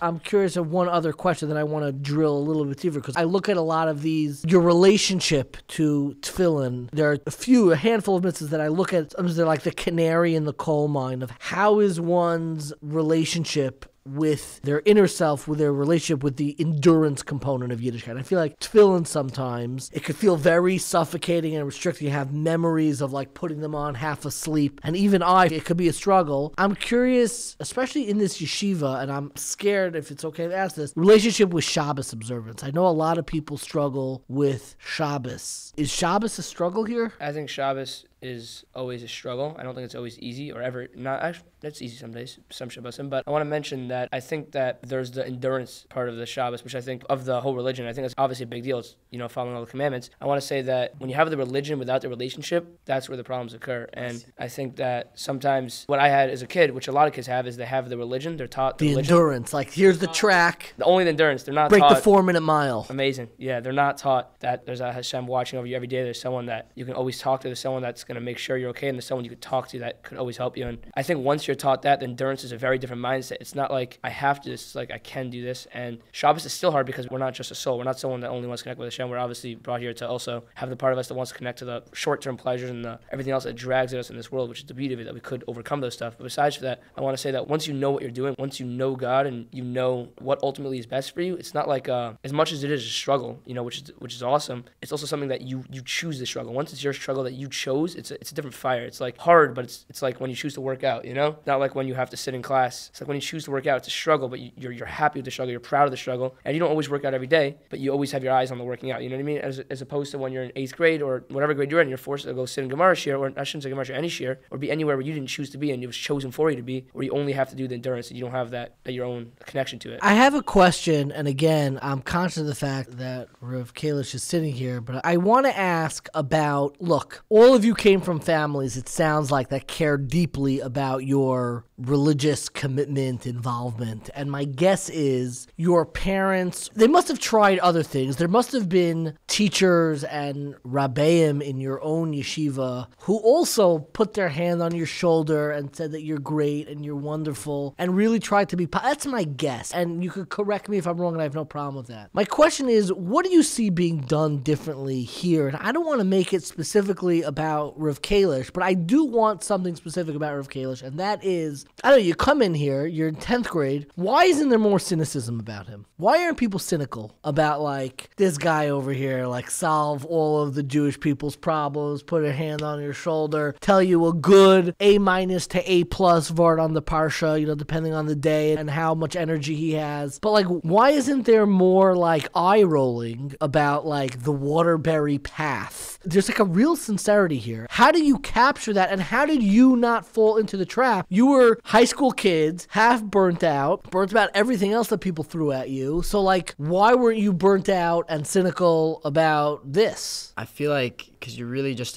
you're accepted here. I don't know. You come in like at first you feel I'm missing something. No, I'm, you, I'm, gonna I'm gonna explain. Like I, you see the Rav, like one of the first times you're coming on campus, and you're like, you're like, okay, like you see he gives everyone a hug, but you still like feel like you're like, okay, it's a little awkward. Like you, you're not wearing a yarmulke. You're like, okay, I don't know, I, I don't feel so comfortable. And you go to him, and it's it's not just like a hug. It's like a real feeling. Like you're really, he's not looking at that. It has nothing to do with what you're wearing, like or how you look. He just loves you for who you are. You didn't feel that. You again, you came here in what grade? Ninth or tenth? No, I did. I, that's what I felt when I came here. I'm saying until you came here. What grade Yeah. did you come here in? in tenth grade. I've been here for three years. And you didn't feel that in your previous educational experiences. Not at all. I'm saying you could you could have someone tap you on the shoulder. It's very nice, but like if it's not from a real place, there's nothing there. It's not real. I'm curious if anybody here has a moment where they felt the sincerity of the relationship. And I'm not talking about your relationship with Hashem, but like he really cares. Because I struggle with that. I don't know. He gave a story about a, a walk at four o'clock in the morning. I'm curious how every educator in their mind, I believe in my heart of hearts, loves and cares about. There's, but there's something different that I see happening here. And I'm wondering why more are not falling into the trap of cynicism. Same old. Okay, it's not the first person who I saw put their arm over my shoulder. You know what I mean? Like, I feel like a lot of them have like an end goal. They're just like, okay, like I'm gonna do it, and then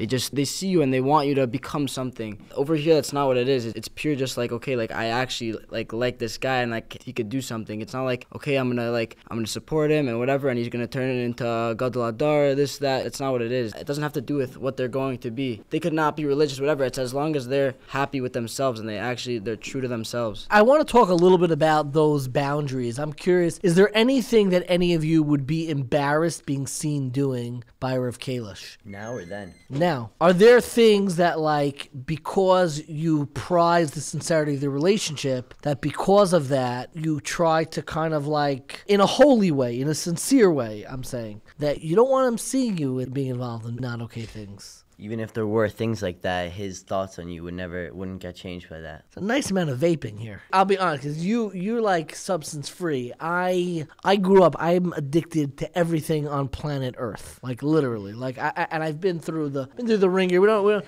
we have to get into details. We don't have to get into into the into the specifics. And I'm curious for you. Did you have to work on not seeing that, on not noticing who's vaping, who's not vaping, who's wearing a yarmulke, who's not wearing a yarmulke?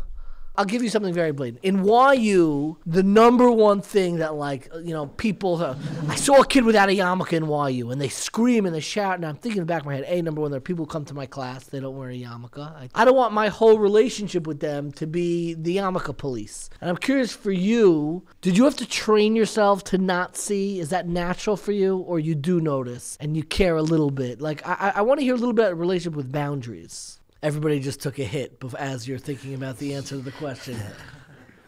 While, while he's thinking, can I quickly say something? Yeah, of course. Sweet, please. sweet. um, I want to mention on this previous thing about why people don't always fall into the trap of cynicism here, why they're not, you know, rejecting all the Yeah. amazing things that uh, yeshiva has to offer. I want to mention that they don't look at you and say like, "How can we put you to on a sitter?" or "Sorry, put on to film." Like like similar to what he was saying, that they look at you and see like, "Why is this person not connected to Hashem right now?" Like like there's a, there's a lack of connection here.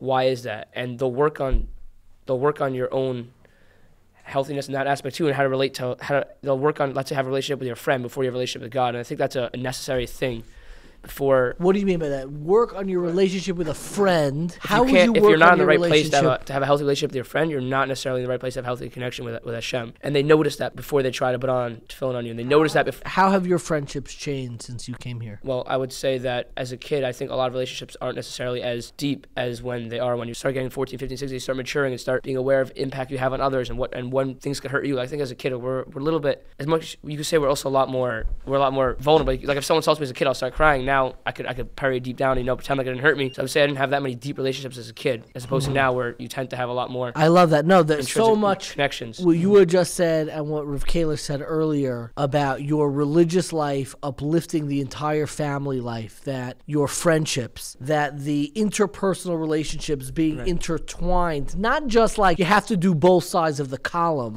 but each side of the column is informing and enhancing and amplifying and really at the heart of interpersonal and divine relationships. I find very moving. But I want to come back to the boundaries question. And that's both a personal question. I'm not asking the yeshiva policy, the handbook. I'm saying you as an educator. I want to talk about this question with boundaries, and it's an important question, boundaries, but I want to back up for a second. We'll watch a kid, and certainly Chilul Shabbos is Chamur in Klal Yisrael, very, very Serious, Chamur, very yes. serious, and nobody lessens it. Somebody will watch their kid desecrate Shabbos, painful. Could I ask a question on the parent? In an honest, brutal way, how deep is your own connection to Shabbos? Real, real. You're alone in the world. Are you fired up? Shabbos is not just a, well, it's a law. The Shabbos Kodesh, Ko'ech Noyam Shabbos. In an honest question, any parent has to ask. They look at their child, and their child, this is a nightmare. They're being Mechalel Shabbos. How real is your own connection to Shabbos? Is it fire? Is it deep? Is it passion? I'm not saying 24 7. And I'm not saying that even if you don't have it, shucks, we still got to keep. But we're shooting. Hashem spoke to us at Sinai. We're shooting for something. When I see a guy in yeshiva, a guy struggling with Shabbos, how deep, Dan Kalish, my Shabbos, You're talking to five guys. You ask, and it's a good question, where are you up to in the Shabbos observance? Do you know you're looking at five guys? They care about God. And Shabbos is like meaningful. I watch, I sit near Avi, we sit near each other. It happens to be for most of you, Moshe, not you four sit near me by Zmiris. They say, when are we singing Zmiris? Avi asks weekly. He's a normal, cool guy, good looking, regular guy. The guy wants Zmiris Shabbos. It's not a joke. It's why haven't we sung yet? One of my sons have an attachment to Shabbos. They're doing something on Shabbos. You're looking at five guys who have Shabbos Kodesh. Then we could discuss, of course, the discipline, and many times we don't feel well human. What's unique here, they're guys, it's a rare place. They're guys who have Shabbos. I want to ask on our system, and it's all us, there's no you. How many of our youth have Shabbos? I'm not talking about that they listen to our rules. How many of our youth go to any 12th grade? And I ask principals and kids, how many of our youth? My dream for my kids, if they be the only person on earth, Avi here, if he'd be the only person would sing the songs on Shabbos. If he'd be alone, I promise you, they have Shabbos. We have to ask ourselves, we're like worried, hey, he's misbehaving. Hey, he's not putting. How many have tefillin? How many people, 50, their tefillin matters? I put on tefillin. How can I look? You ask. You wonder, you look at kids. A kid's not putting on tefillin. Boundaries. I just first asked, what's my connection to tefillin? Tefillin, because of the guys, to watch the guys here put on their tefillin, it's worth it. People should travel hours to come to yeshiva, stand in the beis medrash and watch people come and put on their phylacteries with pride, with connection, with relationship. Of course, we need the discipline to do it when we don't feel it, but there's a force called tefillin. There's a beauty called Shabbos Kodesh. Now, of course, and when we look at our kid and we look at a kid in our family, hey, he's breaking our rule, we have to ask ourselves, do I have something special called Shabbos Kodesh? At a certain age, you're meeting five people, and the school, well meaning, was saying, Hey, you're not doing this behavior. Are we giving over Shabbos, tefillin, tefillah, prayer? We can get a whole classroom, we can get a whole school to all be in shul. Is anybody praying to God? You have given lectures about prayer. Prayer is very deep and meaningful, and everybody has to ask Are we imparting prayer that people are talking to God, their God, in a personal relationship? Prayer, as you're explaining in your podcast, is complex. These are five guys who are having Shabbos and tefillin and prayer. Hashem is very real in their lives. They have an honest relationship, and of course, are working as loyal servants of God to have all the discipline that a loyal servant should have. But I want to push back in a holy way, not even push back, but continue the dialogue and come back to the boundary question. There is a psychologist, uh, Donald Winnicott, who talks about like all love or nothing but love, and students want to test the unconditional love, and boundaries help test that. They help know that like we have real boundaries. I'm going to love you, but I'm going to discipline you. I'm curious what the role role, if any, of boundaries and discipline are in your relationship to your Talmidim? Have you ever thrown out a Talmid and why? And what do you do beyond talking about the beauty of the journey? I'm curious, like, I'm like phrasing this in a weird way, but I'm almost projecting my own struggles of like 18Forty. Like, why are you not in more trouble for this? Like, what? what remind us, like, like boundaries are real in any relationship. There are boundaries and there are rules and there's normalcy. What's going to be the boundary if all of us have a real relationship. And if a guy is breaking a boundary and doing something he shouldn't be doing, so in any healthy relationship with your own children, Reb David, all of us with our own kids will call out our child and say, Excuse, what is that? So we have definite things in our relationship. If a guy's doing something to hurt himself, he's doing something inappropriate, but of course, there are boundaries. The problems become when we have somebody not in any relationship, there's no Yiddishkeit, and we've made some boundary that he has no shaykhs to. Seems arbitrary. That, and the kids breaking things we call boundaries. We're just, the vert here is to be in touch with each person. All of us have a unique and personal relationship. And in that relationship, if somebody, any one of us, you asked Mo about, are you embarrassed by things if you would do something? But of course, that would be embarrassing to do something inappropriate for where I'm up to. They all have, and I have my own journey where I'm up to. And as friends, they call call each other out. They have room meetings where they hold each other responsible for things. And better than do I call them out, Is that call true? each Yeah, very true. That's very beautiful. There was just an article in the New York Times where there's a town, I think it's Brownsville, there's a certain town where the police allow the residents of the town to take over all 911 responses for like two days at a time. And they said crime has dropped, meaning all low crime citizens are able to respond. Instead of calling the police department, they said the citizen, we're going to take over 911. So the front cover of the New York Times uh, this week, we're going to be in charge. I'm curious, what exactly, what are the areas where the room has that mutual responsibility? A therapist taught me about this. It's like a three-step process to do with like for us it works out just for like a room or a community of people. And the first step is taking accountability for something you personally want to take on yourself to work on.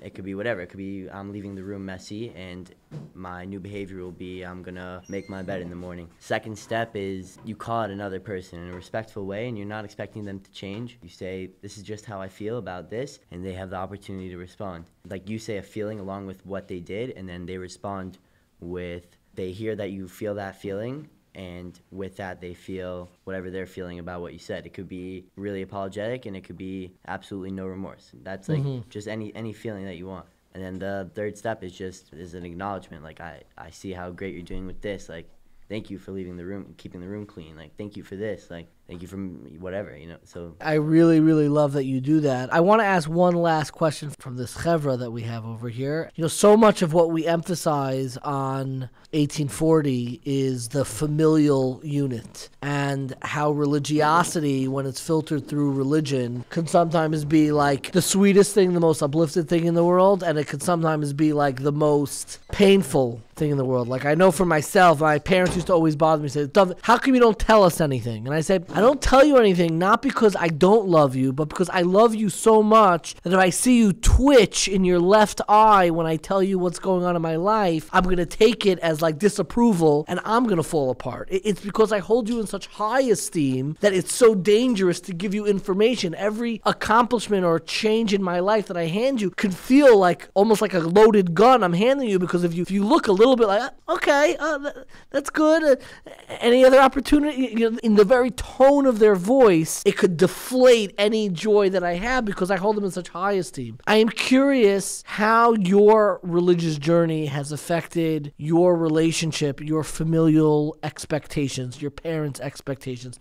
What has changed when you visit home? When you visit home, are you returning back to the home of that suffocation, that restriction? And this is like, this is where I go to vacation. This is where I go. And then when I go home, I got to get ready back into the barracks, into the army How has your religious sensibility transformed and affected your home and the way that you relate to your parents and Yiddishkeit itself? me and Moshe had this conversation. We had it one time. What's the most important thing in a relationship? And um, he said communication, and I said trust. And I'm starting to I'm starting to go with what he said that it's communication might be more important. So with these meetings, that sometimes uh, a lot of things are said without anything being said, and that's the importance of the meeting. Like we call you out, and it's like this is a problem for me, and it's just communication, and it's healthy communication, just saying how you feel. So I just think communication with your parents, like you were saying, like how does it feel when you go home? Do you have to dress up a certain way? Back when I first came to yeshiva, I felt like that's not my home. That's my house. Like, this is my home back then and because i just didn't feel like i could be me. I'm hiding i have contraband in my house. That's not my home. So it's just communication. When my parents give up the fact that like maybe he's doing some things that we don't want him to do but there's communication between us. At least i know what he's doing. Maybe we don't want girls in our house but at least we know where he's at. We're not late at night by someone else's house. He's here with us. And with that communication is how we could build a healthy relationship and how i could eventually grow and just move on from there I'm curious for others. This wasn't always the case, so I don't want to make it sound like it's like a perfect life, you know? Because there's always ups and downs. But my parents now are extremely understanding. If I don't want to go to shul, if I don't want to do something at that moment, not even if it's religious, they're understanding of it. We have honest conversation. Like if I'm What did their reaction used to be if you told them? I'll tell you. Yeah. I'll tell you something. Like maybe like two months back, Shabbos was happening, right? We were making Shabbos Friday night, right? And something happened that bothered me, right? And maybe like two years ago, I would just ignore that, like, or just like go on with the Shabbos meal, or even just go and leave the meal. And I called my dad aside and I talked to him. and he was so understanding and just the fact that I felt comfortable enough to express that to my parents. Like I used to never have that relationship with them. I would never even think that that relationship is possible with them. And now like I'm able to have honest conversation with them. They're able to understand where I'm at and it's just a beautiful thing and it's amazing. I like the question a lot. I could say very confidently I've grown a lot here in my time in my time in yeshiva. And I think along with that, my parents have grown an incredible amount as well. First of all, communication is just, it's an amazing thing to have. Whether you think it's most important or not, I'm still on the fence about that. But I think it's just an amazing thing to have in a relationship. Either way, open communication. Is there a conversation you had with a parent that you were surprised, like, wow, we're having this this conversation? I like what Mo said a lot about the home, how like okay, yeshiva is my home. I go to my house once every two weeks, and that's my house. And there have been conversations, some that I've been uncomfortable having, some that I decided to have, and, and I'm glad I had over the years that really improved the communication and just the general relationship with my parents. And I, and I see that, Baruch Hashem, I see that every day, and I see it with my siblings too. You'll forgive me, and it's only because I can see that there's a lot of layers to this and I'm not asking to plumb to the very depth but allow me to just take the spoon and graze the top of the ice cream container that you have so gracefully displayed in front. And I know it's not totally comfortable but I'm curious if you can get in with a little bit more detail of just like what is the conversation that you had where you were surprised by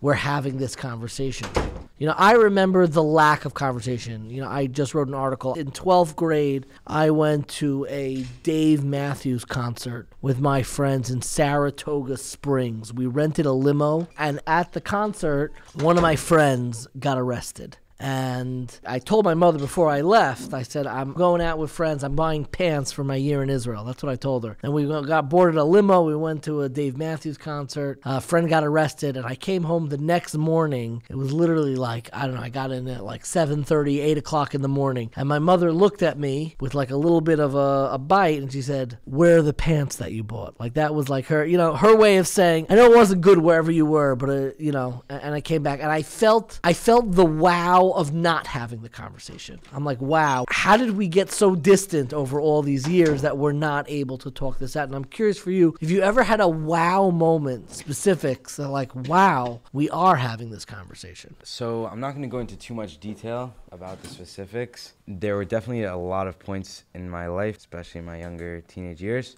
that I was doing things that my parents knew I was doing and I knew that they knew that I was doing them. It was no secret but it was not spoken about. And it was like that for a very long time. And I just remember the feeling of relief when it was finally something we could just talk about. And it was a conversation. And it was still, there was still, my parents are, are humans. They're still people, and there's still things they had problems with, and still I had problems with, still things that I had problems with. And I'm still working on that relationship to this day. But I just remember certain conversations, certain points in time where there were things that weren't being talked about that were that were starting to get opened up. Mo knows how to explain this great, but I gotta say it right now. A relationship with a parent and a kid, it's not us and them. It's a team. Like it works out together. Like when you build a house, if they're missing one brick, it won't work. It'll fall apart. A relationship with a parent and a child, it's a team. It's teamwork. We work this out together. We play together. We do it together. Everything is together. It's a team. That's just how I how I think it has to be. Oh, and it wasn't always that way necessarily. There were ups and downs. There were struggles, yeah. as I think in everyone's home. I think what he's saying is sometimes I felt this person. I can't speak for him, but in middle school, like when I would get in trouble with the principal, my parents would come in, and it felt like they're on his team, and I'm just alone, and that gives you like the vision, like it's you against the world. Yeah. I think it's very important, like when raising kids and when you have kids that you have to you're on you're their teammate. If it has to be teams against each other it's you guys against the principal. Because you guys are on the same team. It was good growth from going to feeling like they're against me adversarial like I could tell them anything and there's no secrets. There's nothing like that. I'm not going to speak too much in personal experience. I will say that everything they just said is spectacular and I think that acceptance in a family is fundamental. I think it's it's one of the most important things that a mother and a father have to look at their kid and be like, I love you for who you are right now. I accept you for whatever you do, whatever you feel, however you act. I think that's fundamental to anyone growing. Just keep that in mind if you're a parent. The conversation of boundaries, to hear the five, and obviously all of them could share worlds more. And they're capable and all sophisticated. They share, you know, right now what they're comfortable to say to an at large audience. The conversation of boundaries is so crucial. The reason I'm like like this, you're hitting something. Mm-hmm. Of course we agree to boundaries. You heard five people, all of them have conversation with family members that are like healthy, deep, real, and these happen. They're all all five. You interviewed five guys that have honest conversation, like healthy, vulnerable, back and forth with parents. The word relationship, connection, communication. I think somewhere along the way that we put the word boundaries, are we talking and connected to our children? Are there conversation they described in their room, their meetings? In their friendship, they talk to each other and call out each other. There's this conversation. Of course, boundaries are necessary. The reason there's such like a kickback here, have our schools become only boundaries and rules?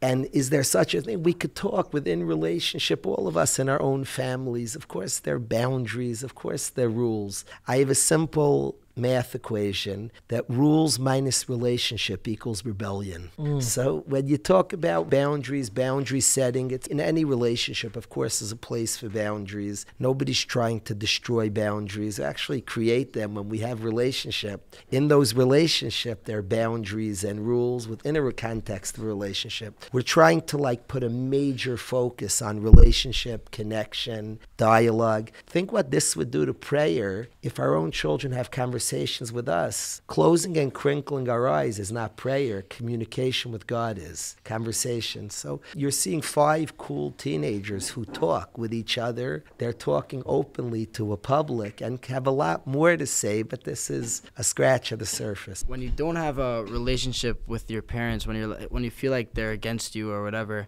you feel alone because the people who are meant to love you so like i'm saying they're your parents they're meant to love you you don't feel like you have anyone. Like if the people who are meant to love you don't love you or you don't feel they love you like how are you supposed to feel love from anyone else if like the people that are meant to don't you don't feel that way? That's why it's like a really important thing to have communication and feel that they actually care about you Waterbury is an incredible place. You are an incredible person. Your students are incredible. Are you nervous in the back of your head that Jewish communities are not your yeshiva? You're not the Rav in every Jewish community. And eventually they leave this idyllic place with these values that are infused everywhere. And they go out into the Jewish world that could be a lot harsher, a lot more difficult, and a lot of the latent mistakes or struggles that will bubble up again. And you go out into the world, it's not able, it's not necessarily sustainable in the way that we see it over here. There are responsibilities at work and to your family life, and you're not going to be the rabbi of every shul across the country. How do you look to your Jur Talmidim knowing that they're going to leave this place and you're not going to be able to be with them the whole time? Are you nervous for them? Do you ever have a student who's like, this is not going to. First of all, thank you for your kind words. I think an important point, all the five people that you were to meet, that everybody's zeicha to meet, I'm not a big part of their stories. I'm friends with them. I'm close. We have a good relationship. Their stories inside, their parents are much more important than I am in their stories. Their own development and own growth is very important. I think and I am extremely confident in our own homes, my own children, one day, your own children will one day get older and leave your home. If there's love and a belief in self and idealism and something you found that will work anywhere in the world, I have seen hundreds of guys, they're out there and it's working. And they're building beautiful families, Baruch Hashem. They're involved in their communities. When people find something real, if you force, push, make, so a guy goes out, you're watching people drop, leave, forget. If people find something in you, it's built to last. I'm super confident that a guy who's found something Within in touch, themselves. yes, who's in touch with something, it's built to last. The five you just met will all be successful in every way in their family life, Be'ez Hashem, community life. They found something. To have guys talk like this at 18, there's no pretend they're underselling. They're not dramatic. To have 18 year olds talk about God like this, talk about relationships, talk about relationship to parents like this, they're feeling some. Their own connection to their parents is cool. When you find things like this, this is built to last. This is not about a person, certainly not about me. I'm to have a good seat, a box seat to a cool thing going on. On, but not much more. To see people finding something that's built to last. Gam ki yazken layas mimenu. That is absolutely beautiful. I always wrap up my interviews with more rapid fire questions. I want to start with Rav Kalish. You could each go. I would like each of you to answer the more rapid fire questions. I am curious if there is a book that opened your eyes to kind of this relationship driven approach to Judaism, everything that we've been speaking about today. I prefer if none of you say the Torah or something generic, like an actual book. It could be secular, it could be Jewish. People, it's guys. Sefer Toldos Adam. I would love. It's not being cute. I'd love to give a certain book. Somebody says, "So what's the book I can read?" I say, "Meet the Youth of Today." Meet the youth of today.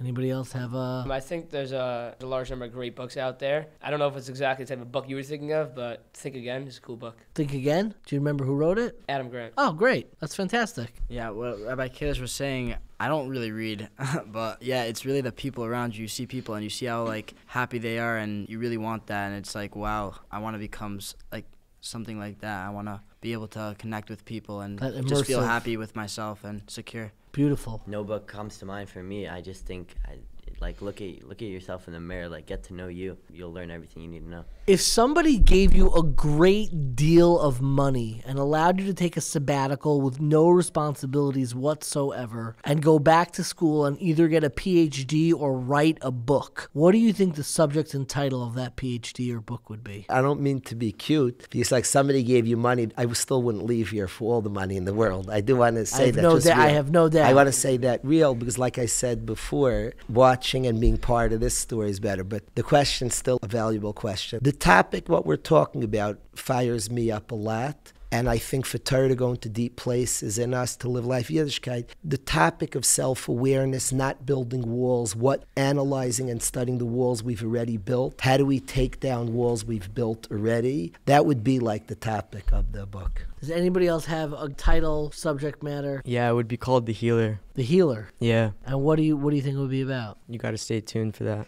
Okay. My final question I'm always curious about people's sleep schedules. What time do you go to sleep at night? And what time do you wake up in the morning? And I am actually quite fascinated with uh, your sleep schedule. You're, you're asking that question. I came back 4:30 from a wedding last night, so you're asking it at a tired time. But I would like to be more disciplined to get to sleep at the right time. I definitely tend to go to sleep very late. There are a lot of obligations here and involved in here, so I definitely tend to go to sleep late. I am not the guy at the Vasikin Minyan. There's a beautiful nine o'clock minyan in Avalon that I do frequent from time to time, and I definitely have my periods when I'm getting up earlier, but I tend to go to sleep late and then wake up for a minyan that's not the Vasikin minion. Not far the from. Vasikin. Okay, I appreciate that. General, Obviously, I always fail all the time, but I'm saying I generally go to sleep at around 12 to 12:15 and wake up at 8. Yeah, around 12 o'clock a.m. and then try to wake up like 8:30. I aim for 10 o'clock, but uh, sometimes I'm in bed earlier, and sometimes I'm what time do you wake up? I wake up like it depends on the day really, but like I aim for like six o'clock. Wow. Okay. I aim for 10 o'clock. Typically, I go to sleep between 10 and 12, and then I wake up between 8:45 and 9 o'clock. I'm glad to say I've been very positively influenced by my roommates, and in this regard, Mo in particular. I'm not as disciplined as him, going to sleep aspect of it. I do go to sleep much later, but I try to wake up around six ish. I think it bears like pointing out. We took five growing people and this place called Waterbury, no rules, boundaries, and they're describing 12th graders, cool guys, going to sleep on time and waking up quite early. The six, seven, eight numbers I said for me is like, and the funny parts of like the view of the yeshiva and then coming down and meeting people is people who have schedules, who are organized and coming from within. The long term perspective to somebody who finds something and what they build and what they create is rather remarkable. And I think their schedule was a great way. It's an excellent question. You've been amazing. Your questions have been spot on. And that point, what that brings out of people when we do trust and we do allow people to start building, they'll build something that's beautiful and impressive. And us parents will be very, very impressed and inspired by what's built as we're building with our teenagers. And together as teammates with them, they'll build impressive things. Friends, I cannot thank you enough for sharing your thoughts, your story with me today. So thank you all so very much. Thank you. After leaving the yeshiva, which was an incredible experience just to see the students there, and when I say there is diversity among the students, I mean you really, really see it. You have people who are just in the beginning of their journey, and the beginnings of the journey there means it was the end of a different journey. It means that maybe there was another yeshiva or school that they went to where it didn't work out. Maybe it was a different path that just wasn't working, or maybe they got pulled over on that pre paved highway by a police officer. You know, I hope I'm speaking allegorically, but they got pulled over on that regular path of that pre paved highway that our generation is all traversing on and said, pull over, we need to speak. But after we left the yeshiva, there were a few people who I didn't get a chance to speak to, and one of them was a dorm counselor, somebody who really began his story in very similar ways to my own. His name is Johnny Aaron, and I wanted to speak to the dorm counselor too to hear about what the experience in Waterbury is all about. So, with that in mind, here is our conversation with Johnny Aaron. I was having a conversation with somebody, and I asked him, Why does Waterbury not get in more trouble? I'm going to speak very bluntly and openly. When I walked to the yeshiva, I saw people who were not wearing yarmulkes, who were vaping, who were, you know, chilling. And it's very easy to love a yeshiva from the distance. And when you get there, I have no issue with any of this. I identify with the students there. But I asked this person who's more centrally located in the yeshiva world, why does nobody ever pick on Waterbury? I get picked on. 18Forty gets picked on. How come Waterbury never gets picked on? So he said something very interesting. He said Waterbury is seen as like the burn unit, the trauma ward for the yeshiva system. And that's why. I wanted to begin by asking you, you're a dorm counselor in the yeshiva. Do you agree with that? Do you think Waterbury should be seen as the burn unit of the yeshiva system, the trauma ward? You know, this is only for people who weren't able to make it elsewhere, so we have this special place where they can kind of be rehabilitated. How do you see the work of what Waterbury is doing? First, I, I appreciate what you're saying. I, it's an interesting remark you're making about not getting in trouble, getting in trouble, not getting enough. The first thing that's coming to mind is something that the Lubavitch Rebbe always said. The Lubavitch Rebbe, of course, always had a very positive outlook. And in Hebrew, a hospital is referred to as a bet cholim, a house of sick. He was famous for calling it a bet refuah, a house of healing. So as far as the yeshiva does get in trouble, it, it, gets a lot of hate mail, whatever, call it what you want. I would be quicker to call the yeshiva a bet refuah than a bet cholim. It's a house of healing. It's a house of building. It's not just a place of, oh, difficulties have struck. Let me go here now. Everyone has difficulties. So the question is, is are you in touch with that? And are you going to build upon your previous pain and struggles and your current life? Or are you just going to say, eh, you know what? I don't need that. I don't have to build upon it. Just power through. I love that answer. There is a big difference, and I, I remember vaguely that insistence of Lubavitcher Rebbe of calling hospitals a Beit Refuah, a place of healing, and not, you know, the trauma ward, not a place of sickness and crisis. I think that analogy is very apropos, and I saw it with my own eyes. I'm curious from your experience as a dorm counselor, what do you think is the central issue that people need healing from? What healing is needed? They all go to great yeshivas. The Jewish day school system has been stronger. So, what is it that anybody would even need healing from? I have a lot of friends, Baruch Hashem, my age, older, younger, guys that I'm close with. I can't necessarily answer for them. I could just share with you a little bit about myself and my earlier years. I went to a Jewish day school in the Five Towns area. Probably a different track than what most guys in Waterbury went to growing up. A different style of. Most guys come from a little bit more yeshivish institutions, a little bit more right wing, and you were kind of from the centrist yeah, guess, Orthodox guess, community. Yeah, I guess that's fair to say. In broad strokes, okay. So everyone's upbringing definitely different. I think that's a huge credit to the yeshiva and to Rabbi Kalish is that there are guys that come from all walks of life, from the New York metro area, Florida, Texas, California, Israel, South Africa, Chicago, Arizona, Canada. There's a wide range of people that come to the yeshiva. It's not a one track type of guy. So just I think, first of all, just the positivity that you're welcome here, that you're invited here, that you have a place here. And from there, I want to sort of give you, you know, a response to your question. I'm definitely not a low energy person. People that know me, I'm a very high energy person. Not so easy for me to sit still, but if you have my attention, I could sit for hours. So in elementary school, we weren't really a good shidduch. You know, you have 25 kids in a class. The job of the teacher isn't necessarily to, you know, obviously it's to educate, but often the teacher, if not, you know, really congruent with self, it's not always about teaching you. It's about making sure you listen to me. So when you have that riff in a classroom of a kid that doesn't want to listen and a teacher that needs to be listened to, it doesn't necessarily work. What Waterbury gives and what Rabbi Kalish gives, for me, it gave me a place. The biggest thing that Waterbury and Rabbi Kalish gave me is me. How many people are going through the Jewish day schools and the yeshiva system with no sense of self? Okay, do this, go to this yeshiva for X amount of years, make it to this person's shiur, get this shidduch with this father-in-law to pay these bills. For what? Who are you doing it for? What am, am I a person? What am I? The biggest thing that Waterbury is giving is a sense of self. So how many of us have been robbed of just not being a person? I could say for me, I didn't.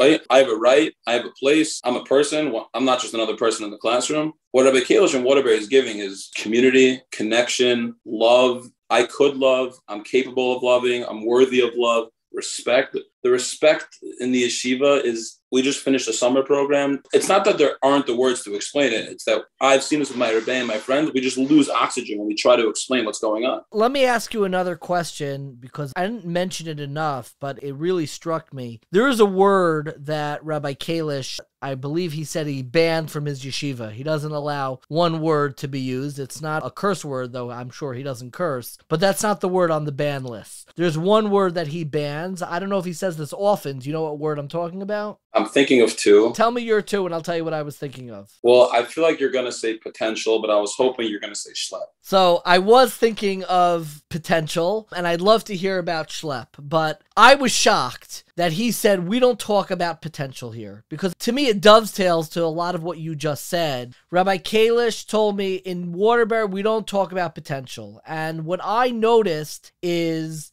you know, growing up, I had a lot of potential. I was told a lot about my potential. Why is the word potential not used in the education system in Waterbury? I appreciate what you're bringing up and just like seeing you on the screen, like you're excited. You're sincerely excited bringing this up. I want to answer with a personal experience. Like I said, the type of elementary school I went to, my mother always keeps pictures and arts and crafts for some reason she kept my report cards from the earlier years. I'm thinking of my english teacher in first grade and second grade and she kept the report cards. And there was like a common theme the common theme in all the notes from the teachers but more importantly there was two grades right? Math social studies science hebrew. Sure. there was grade one category and effort another category. So if you look at my grades in first I don't think i'm like a dumb guy. I think i'm pretty smart. If you look at the grade in like the earlier years they were very weak incomplete not very good f whatever it was. Yeah. But effort was like excellent, very good, amazing. Jonathan, Johnny has excellent potential. When he uses his focus for the right things and puts his mind to doing something, he's amazing. Translation When he's conforming and listening to me and he's not acting out in the classroom, he could do whatever I tell him. In Waterbury, in the eyes of Rabbi Kalish, it's the exact opposite. We don't judge you on your grade. What's your effort? What are you putting in? We're a yeshiva of Tocho Kibaro. That's it. I mean, your outsides need to match your insides. That's it. The biggest thing is your effort. If you put in the effort, we say every day in Berachas Torah, La Sok Torah. We don't say to understand the Torah. Now, of course, there's a madrig of understanding and sure. deepening getting more. But the ikar is the toil. The most important thing here is putting in the work, is grinding. So what Rabbi Kalish is saying with potential is, ah, oh, sabbatical, Oh, you'll get there one day. What do you mean? You're there today. You put on film today. That's amazing. Let's go. That's eternal and forever. The potential means is you could get there one day, as opposed to you're there right now. Let's add a little bit more. That's exactly why I asked you because, you know, we talk so much in 18Forty about the interiority, your inner self, the inner world, that people are grappling with. And I think very often, communally, even if we don't use the term, communally, we think in terms of potential, what you're going to become. And educationally, to center the notion of where you are and what you've already accomplished, what you already represent, and who you are, your sense of self as a person, which is exactly what you responded to my first question, kind of bringing out, letting people feel comfortable with their very sense of self, is everything that goes against, let's just focus on potential. Potential's a nice thing, but you could get potential to death in this world where you never feel like you're anywhere in the present. Let me ask you, you mentioned a second word. I'm a little curious. You mentioned the word schlep, which is a Yiddish term to mean like a headache. You gotta, I gotta schlep to a wedding. I have to schlep to a chasana. I have to schlep there, schlep here. Why was that your second guess? You got the first guess right. I didn't know the second word. What's the issue with the word schlep? First, I'm just excited that you asked me. I also feel a little bit like cheating. Like let Rabbi Kalish be here and explain it. He could explain it much better We than had me. Plenty of time with Rabbi Kalish. I'm just a reporter. I'm not like I'll explain to you Schlep, and I'll literally an example. From, I I had one of the best days of my life yesterday, and I'm going to explain to you why it wasn't a Schlep and why I'm going on a long drive again today. We just finished a summer program near Lake George for three weeks. It was amazing. It was just exceptional. And I'm looking at about a four hour drive back from Lake George, back to the Five Towns area. And somebody asked me, Hey, can you drive me to the airport? I was supposed to take the bus, but the bus is late.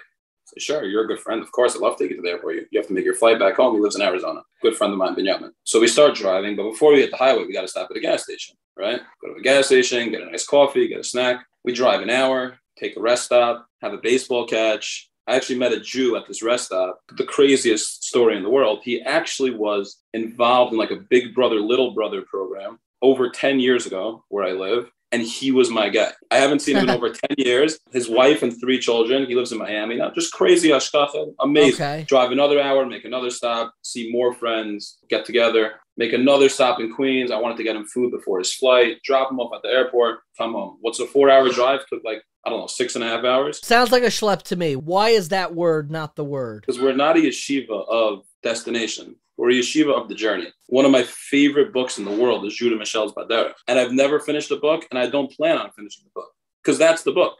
The book itself is just being along the path. Specifically, when Rebbe Kalish says schlep is, oh my goodness, I have a wedding in Baltimore. I have to drive four hours. It's such a schlep. So if you schlep to the wedding, then it's going to take you four hours and it's going to feel like eight. I got home yesterday. I couldn't sit still. My body was jittering. I told my mother, Mom, it felt like five minutes. That's it. I'm doing it again. Today, I'm going to Baltimore just to hang out with a friend. I'm going to Baltimore and come right back because I just want to hang out with them. A schlep is, is, oh my goodness, I have to get there already. I have to get there already. A journey is, is, hey, let's stop at the rest stop. I've been on countless rides, countless, countless rides with Rabbi Kalish from Connecticut to weddings in New York to him speaking different events. And Baruch Hashem, we have a very close relationship, and I've expressed different things to him. But I, one thing I, I said to him is, if, if I was to be asked, what do you think it was like to travel with the Baal Shem Tov in the wagon when he went on his trip? I would say I know exactly what it feels like. The Jews and the people that I've encountered with Rabbi Kalish on our trips, from Waterbury to Lakewood for a wedding, stopping at a gas station, davening a mincha, playing frisbee, playing punch ball, buying food. It's not okay. We have to get there already. We have to get there already. No, no, no. Let's just enjoy this time in this moment right now. We're a journey. The yeshiva's a journey. It's so fascinating that you say that because it's really the same point that you're making about potential, where, you know, you could look at your life as just a series of schleps because, you know, you have to get someplace else. You have the, another potential that you need to extract. And if you look at all of life as a schlep, as I have to go here, I have to go there, there's never a moment where you feel at peace or that enjoyment that opportunity that lies literally in the present moment in front of you. And I think that notion, it relates to me so much because I look at everything as a schlep. I don't like leaving my house. I don't like going down the block. I don't like, I don't like going everywhere. Everywhere's a schlep for me. It reorients what a journey could be, what you can do on a path with somebody together. You know, Rabbi Kalish mentioned to me the first time we spoke, and maybe you could corroborate it. He told me that on these journeys, and I kind of believe him now because he always comes with an entourage. comes with people who are singing, he comes with people who are playing music together. When we interviewed him, we interviewed students together. He told me that he has played 18Forty on car rides. Can you corroborate that that is in fact true? He told you already. You don't need me to confirm. Have you been in the car when he's listening? I personally have been in the car listening to 18Forty. Sure. When you listen to other people in the car, how does he do it? Man, I'm not just asking about 18Forty. Is he stopping and highlighting points for the guys? Is he just like letting it go? People are schmoozing. What's the vibe in that, you know, Baal Shem Tov's wagon when you're listening together, especially to a podcast? It's not a shiur. I'm not giving over like a formal Mareh Mekomos. You're listening to a conversation. So I'm just curious when you're on these non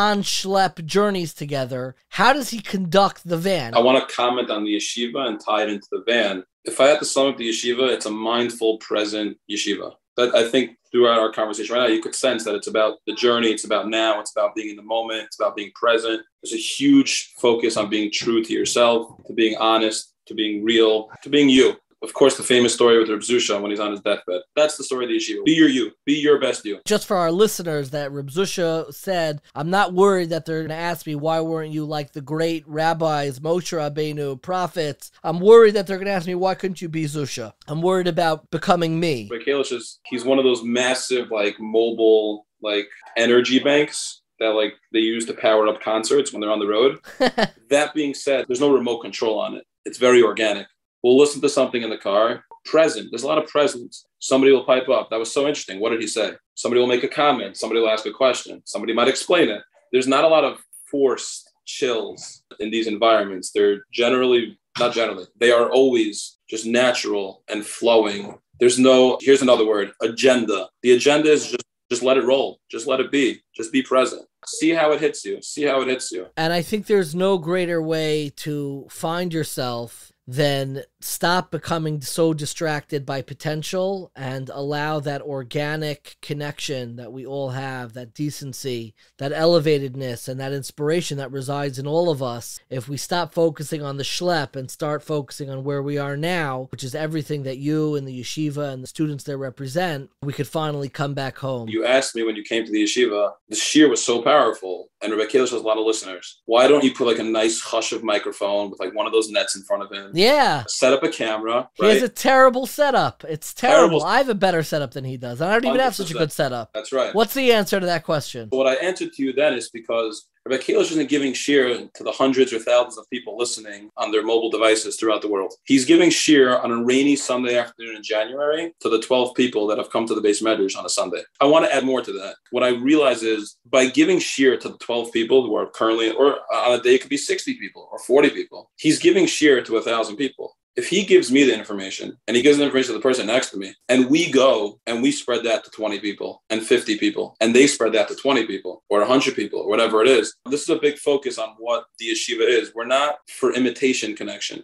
we're not for how does it look okay, I want to feel this. That's why the world we're running for imitation connection because we're dying for real connection. So he could go on a fancy screen and a big hush of microphone, and somebody listening to the shiur in Tennessee Tune will hear it live. Yeah, yeah, and they'll they'll hear it live and they'll feel so connected. It's not it. We want the real connection, and this is what Rebbe Kalish. I feel like he explained it about Shabbos to experience Shabbos. Better for me to impact 10 people really really strong and they can go and share that than for me to loosely like impact you like oh i heard a recording when i was like traveling through like an airport he's speaking to me and that's what the yeshiva is. That's who he is. He's speaking to me. I've texted him so many times rebbe i feel like when you give shiur you're just talking to me and everybody else is eavesdropping. I can almost guarantee you most people in the room feel that that when he's speaking in, in, a public forum, he's just talking to me. That's how I'm on fire. That's how the yeshiva's on fire. That's how the people are on fire because there's authenticity, there's connection, there's how it is. It doesn't always look pretty, but there's how it is. This is how it is. This is what's true. Johnny, I cannot thank you enough for sharing your thoughts today. It means so much to me, and I hope that we continue to stay in touch.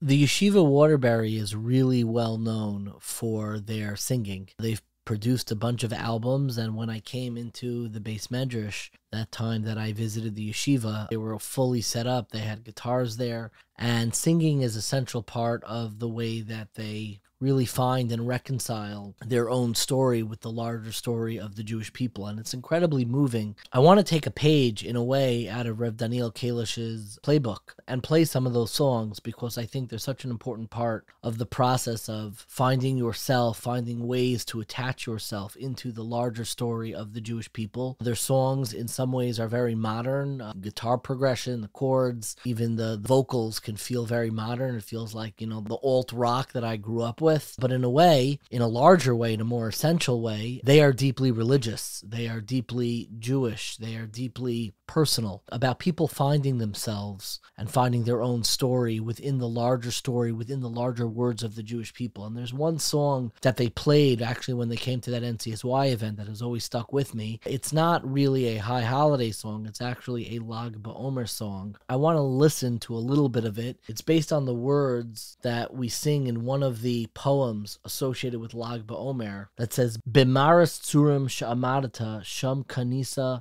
Hodcha v'Hadarecha. In this narrow cave, kind of the story of Rabbi Shimon Bar Yochai, when he ran away and studied in a cave for 12 years, in the narrow straits of this cave that I stood, that is where I acquired your glory and your radiance. It was specifically hiding in a cave alone by yourself that I was able to really find and discover your, referring to God's radiance and glory, Hod vehadar, again loosely translated, glory, radiance. And I heard this live. It's also a, a, song you could find it on YouTube. It's called Stone Cave. But the opening is very beautiful, and I want you to listen to a little bit of that song now.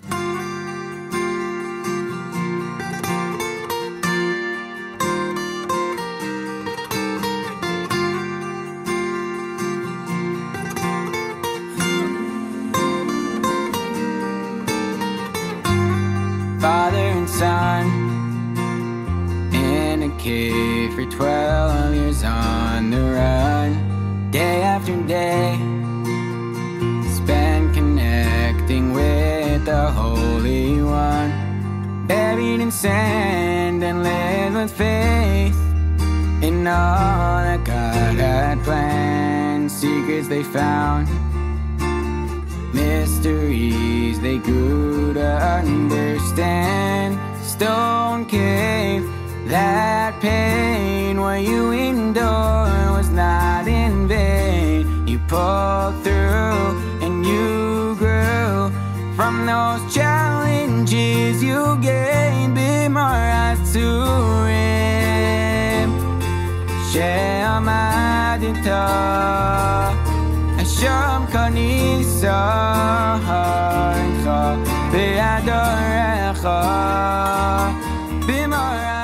it's a beautiful song, and I remember when I was listening to this, like it really struck me. It is very unusual to see a rabbi traveling with a band. I mean, I would love a band to travel with me when I go to speak. It would be wonderful, at the very least, an a cappella group when I go away on Shabbos. If anybody's interested to come along with me, but it's not shtick. It is deeply sincere and it is deeply real. And I think that what it's all about is the ability, particularly through song, to find both the voice, the instruments, and the lyrics and find a coherence among them to take something that's old. Very often, the lyrics include something that can be a poem from centuries ago, if not thousands of years ago. Adding your own lyrics to it and then bringing your voice to it is taking something that almost doesn't belong to you, taking a lyric, taking a poem, and then making it yours. And in a way, when you sing together, which is such a central part of the Yeshiva of Waterbury, singing itself is an act of reconciliation. When you sing, especially when you sing on key and you play on key with instruments and different people are singing together, you are reconciling different chords, voices, lyrics all together to form a cohesive whole, which is why I think singing itself is a form of teshuva. You are taking lyrics that very often, usually you didn't write or a portion of them you didn't write. You're adding voices to them, not only your own, but with others, and you're adding instrumentation. And when all of these come together, it is an act of musical reconciliation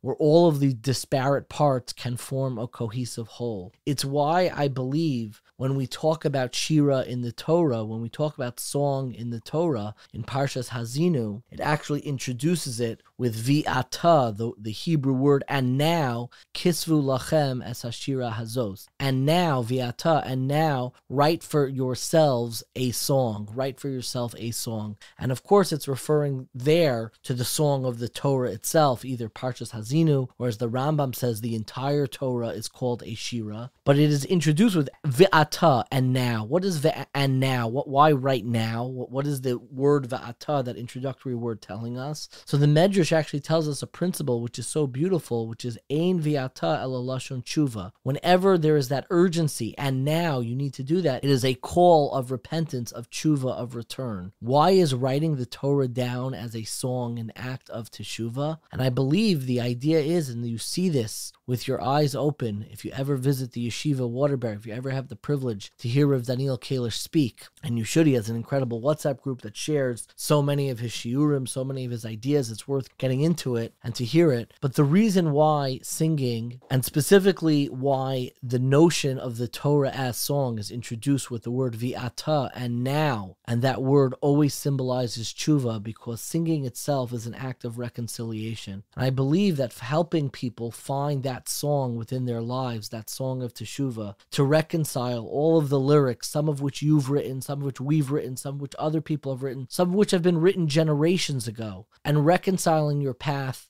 to that old highway of lyrics, to that old highway of living. In many ways, you know, for me, represented by my father and Rav Daniel Kalish's father, and finding a way to reconcile yourself not only to lyrics that may not belong to you, but in a larger way to find and make Jewish tradition, Jewish life, Jewish commitment, make it yours, make it personal, is what singing and the reconciliation of singing is all about, which is why it's introduced the ata and now kisvu lachem es ashira hazos. You want to learn how to do teshuva, you want to learn how to reconcile life and tradition and Jewish living and make it yours and make it personal. Write a song, make Torah into a song to reconcile all of the disparate lyrics and voices and instruments that each of us play and each of us have had within our own lives and find a way to reconcile and find healing and joy and inspiration within our Jewish lives. And before we conclude, and you'll forgive me if it's a little bit longer, but I wanted to leave with one final song that will play as we do the outro. And it's a song that's all about developing that personal relationship with God, with Jewish life, even after you struggled, even after you've been in those narrow straits. And it's a song by Waterbury, probably their most well known song, and it's called Tatty, My King, which is about somebody developing and finding a way to relate to God, to godliness, and to Yiddish as a parent, as a loving parent, and somebody who is nurturing you and helping you grow. And it's with that song I'd like to leave because I believe that if we've ever had a song of tshuva, of that vi'ata kisvu lechemes ashira hazos, right now with tshuva, transforming Torah into song, there's no more appropriate song to enter into the high holidays than the song of Avinu Malkenu, which we say throughout the high holidays, my Father, my King, but not just saying it, but singing it together.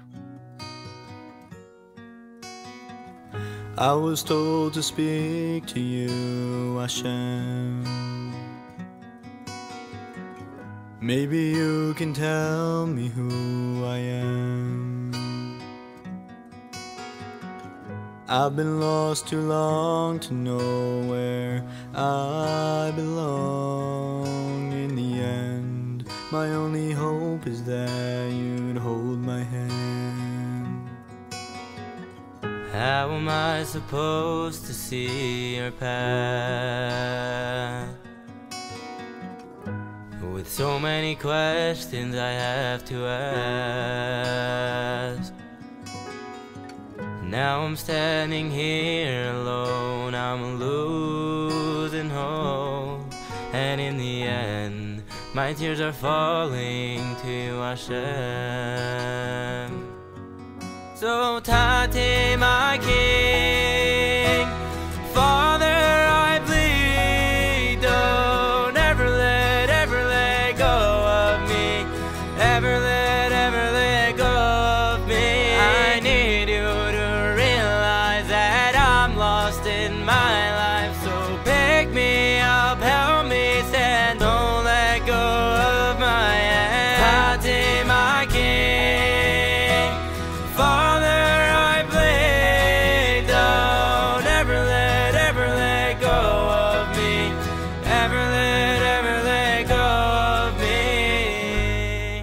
So thank you so much for listening, and thank you again to our series sponsors, Mira and Daniel Stokar, for sponsoring the entire Teshuva series. Your friendship means so much to me. And thank you again to our anonymous sponsor. I hope that you get to listen to this episode, and I hope I didn't give away your identity, but I really do appreciate you. And I'm going to say it briefly in this outro, but in a lot of ways, your story, it really inspires me. I don't know that I ever told you that, but I, I do want you to know that. Your story really inspires me, and in a lot of ways, everything that we spoke about today is really embodied by what you've done and what you've created with yourself and your life and your businesses. And I just want you to know nobody knows who I'm talking to, but I really find you to be incredibly inspiring. This episode was edited by our dearest friend, Dina Emerson. Thank you so much, Dina, and it's great to have you back.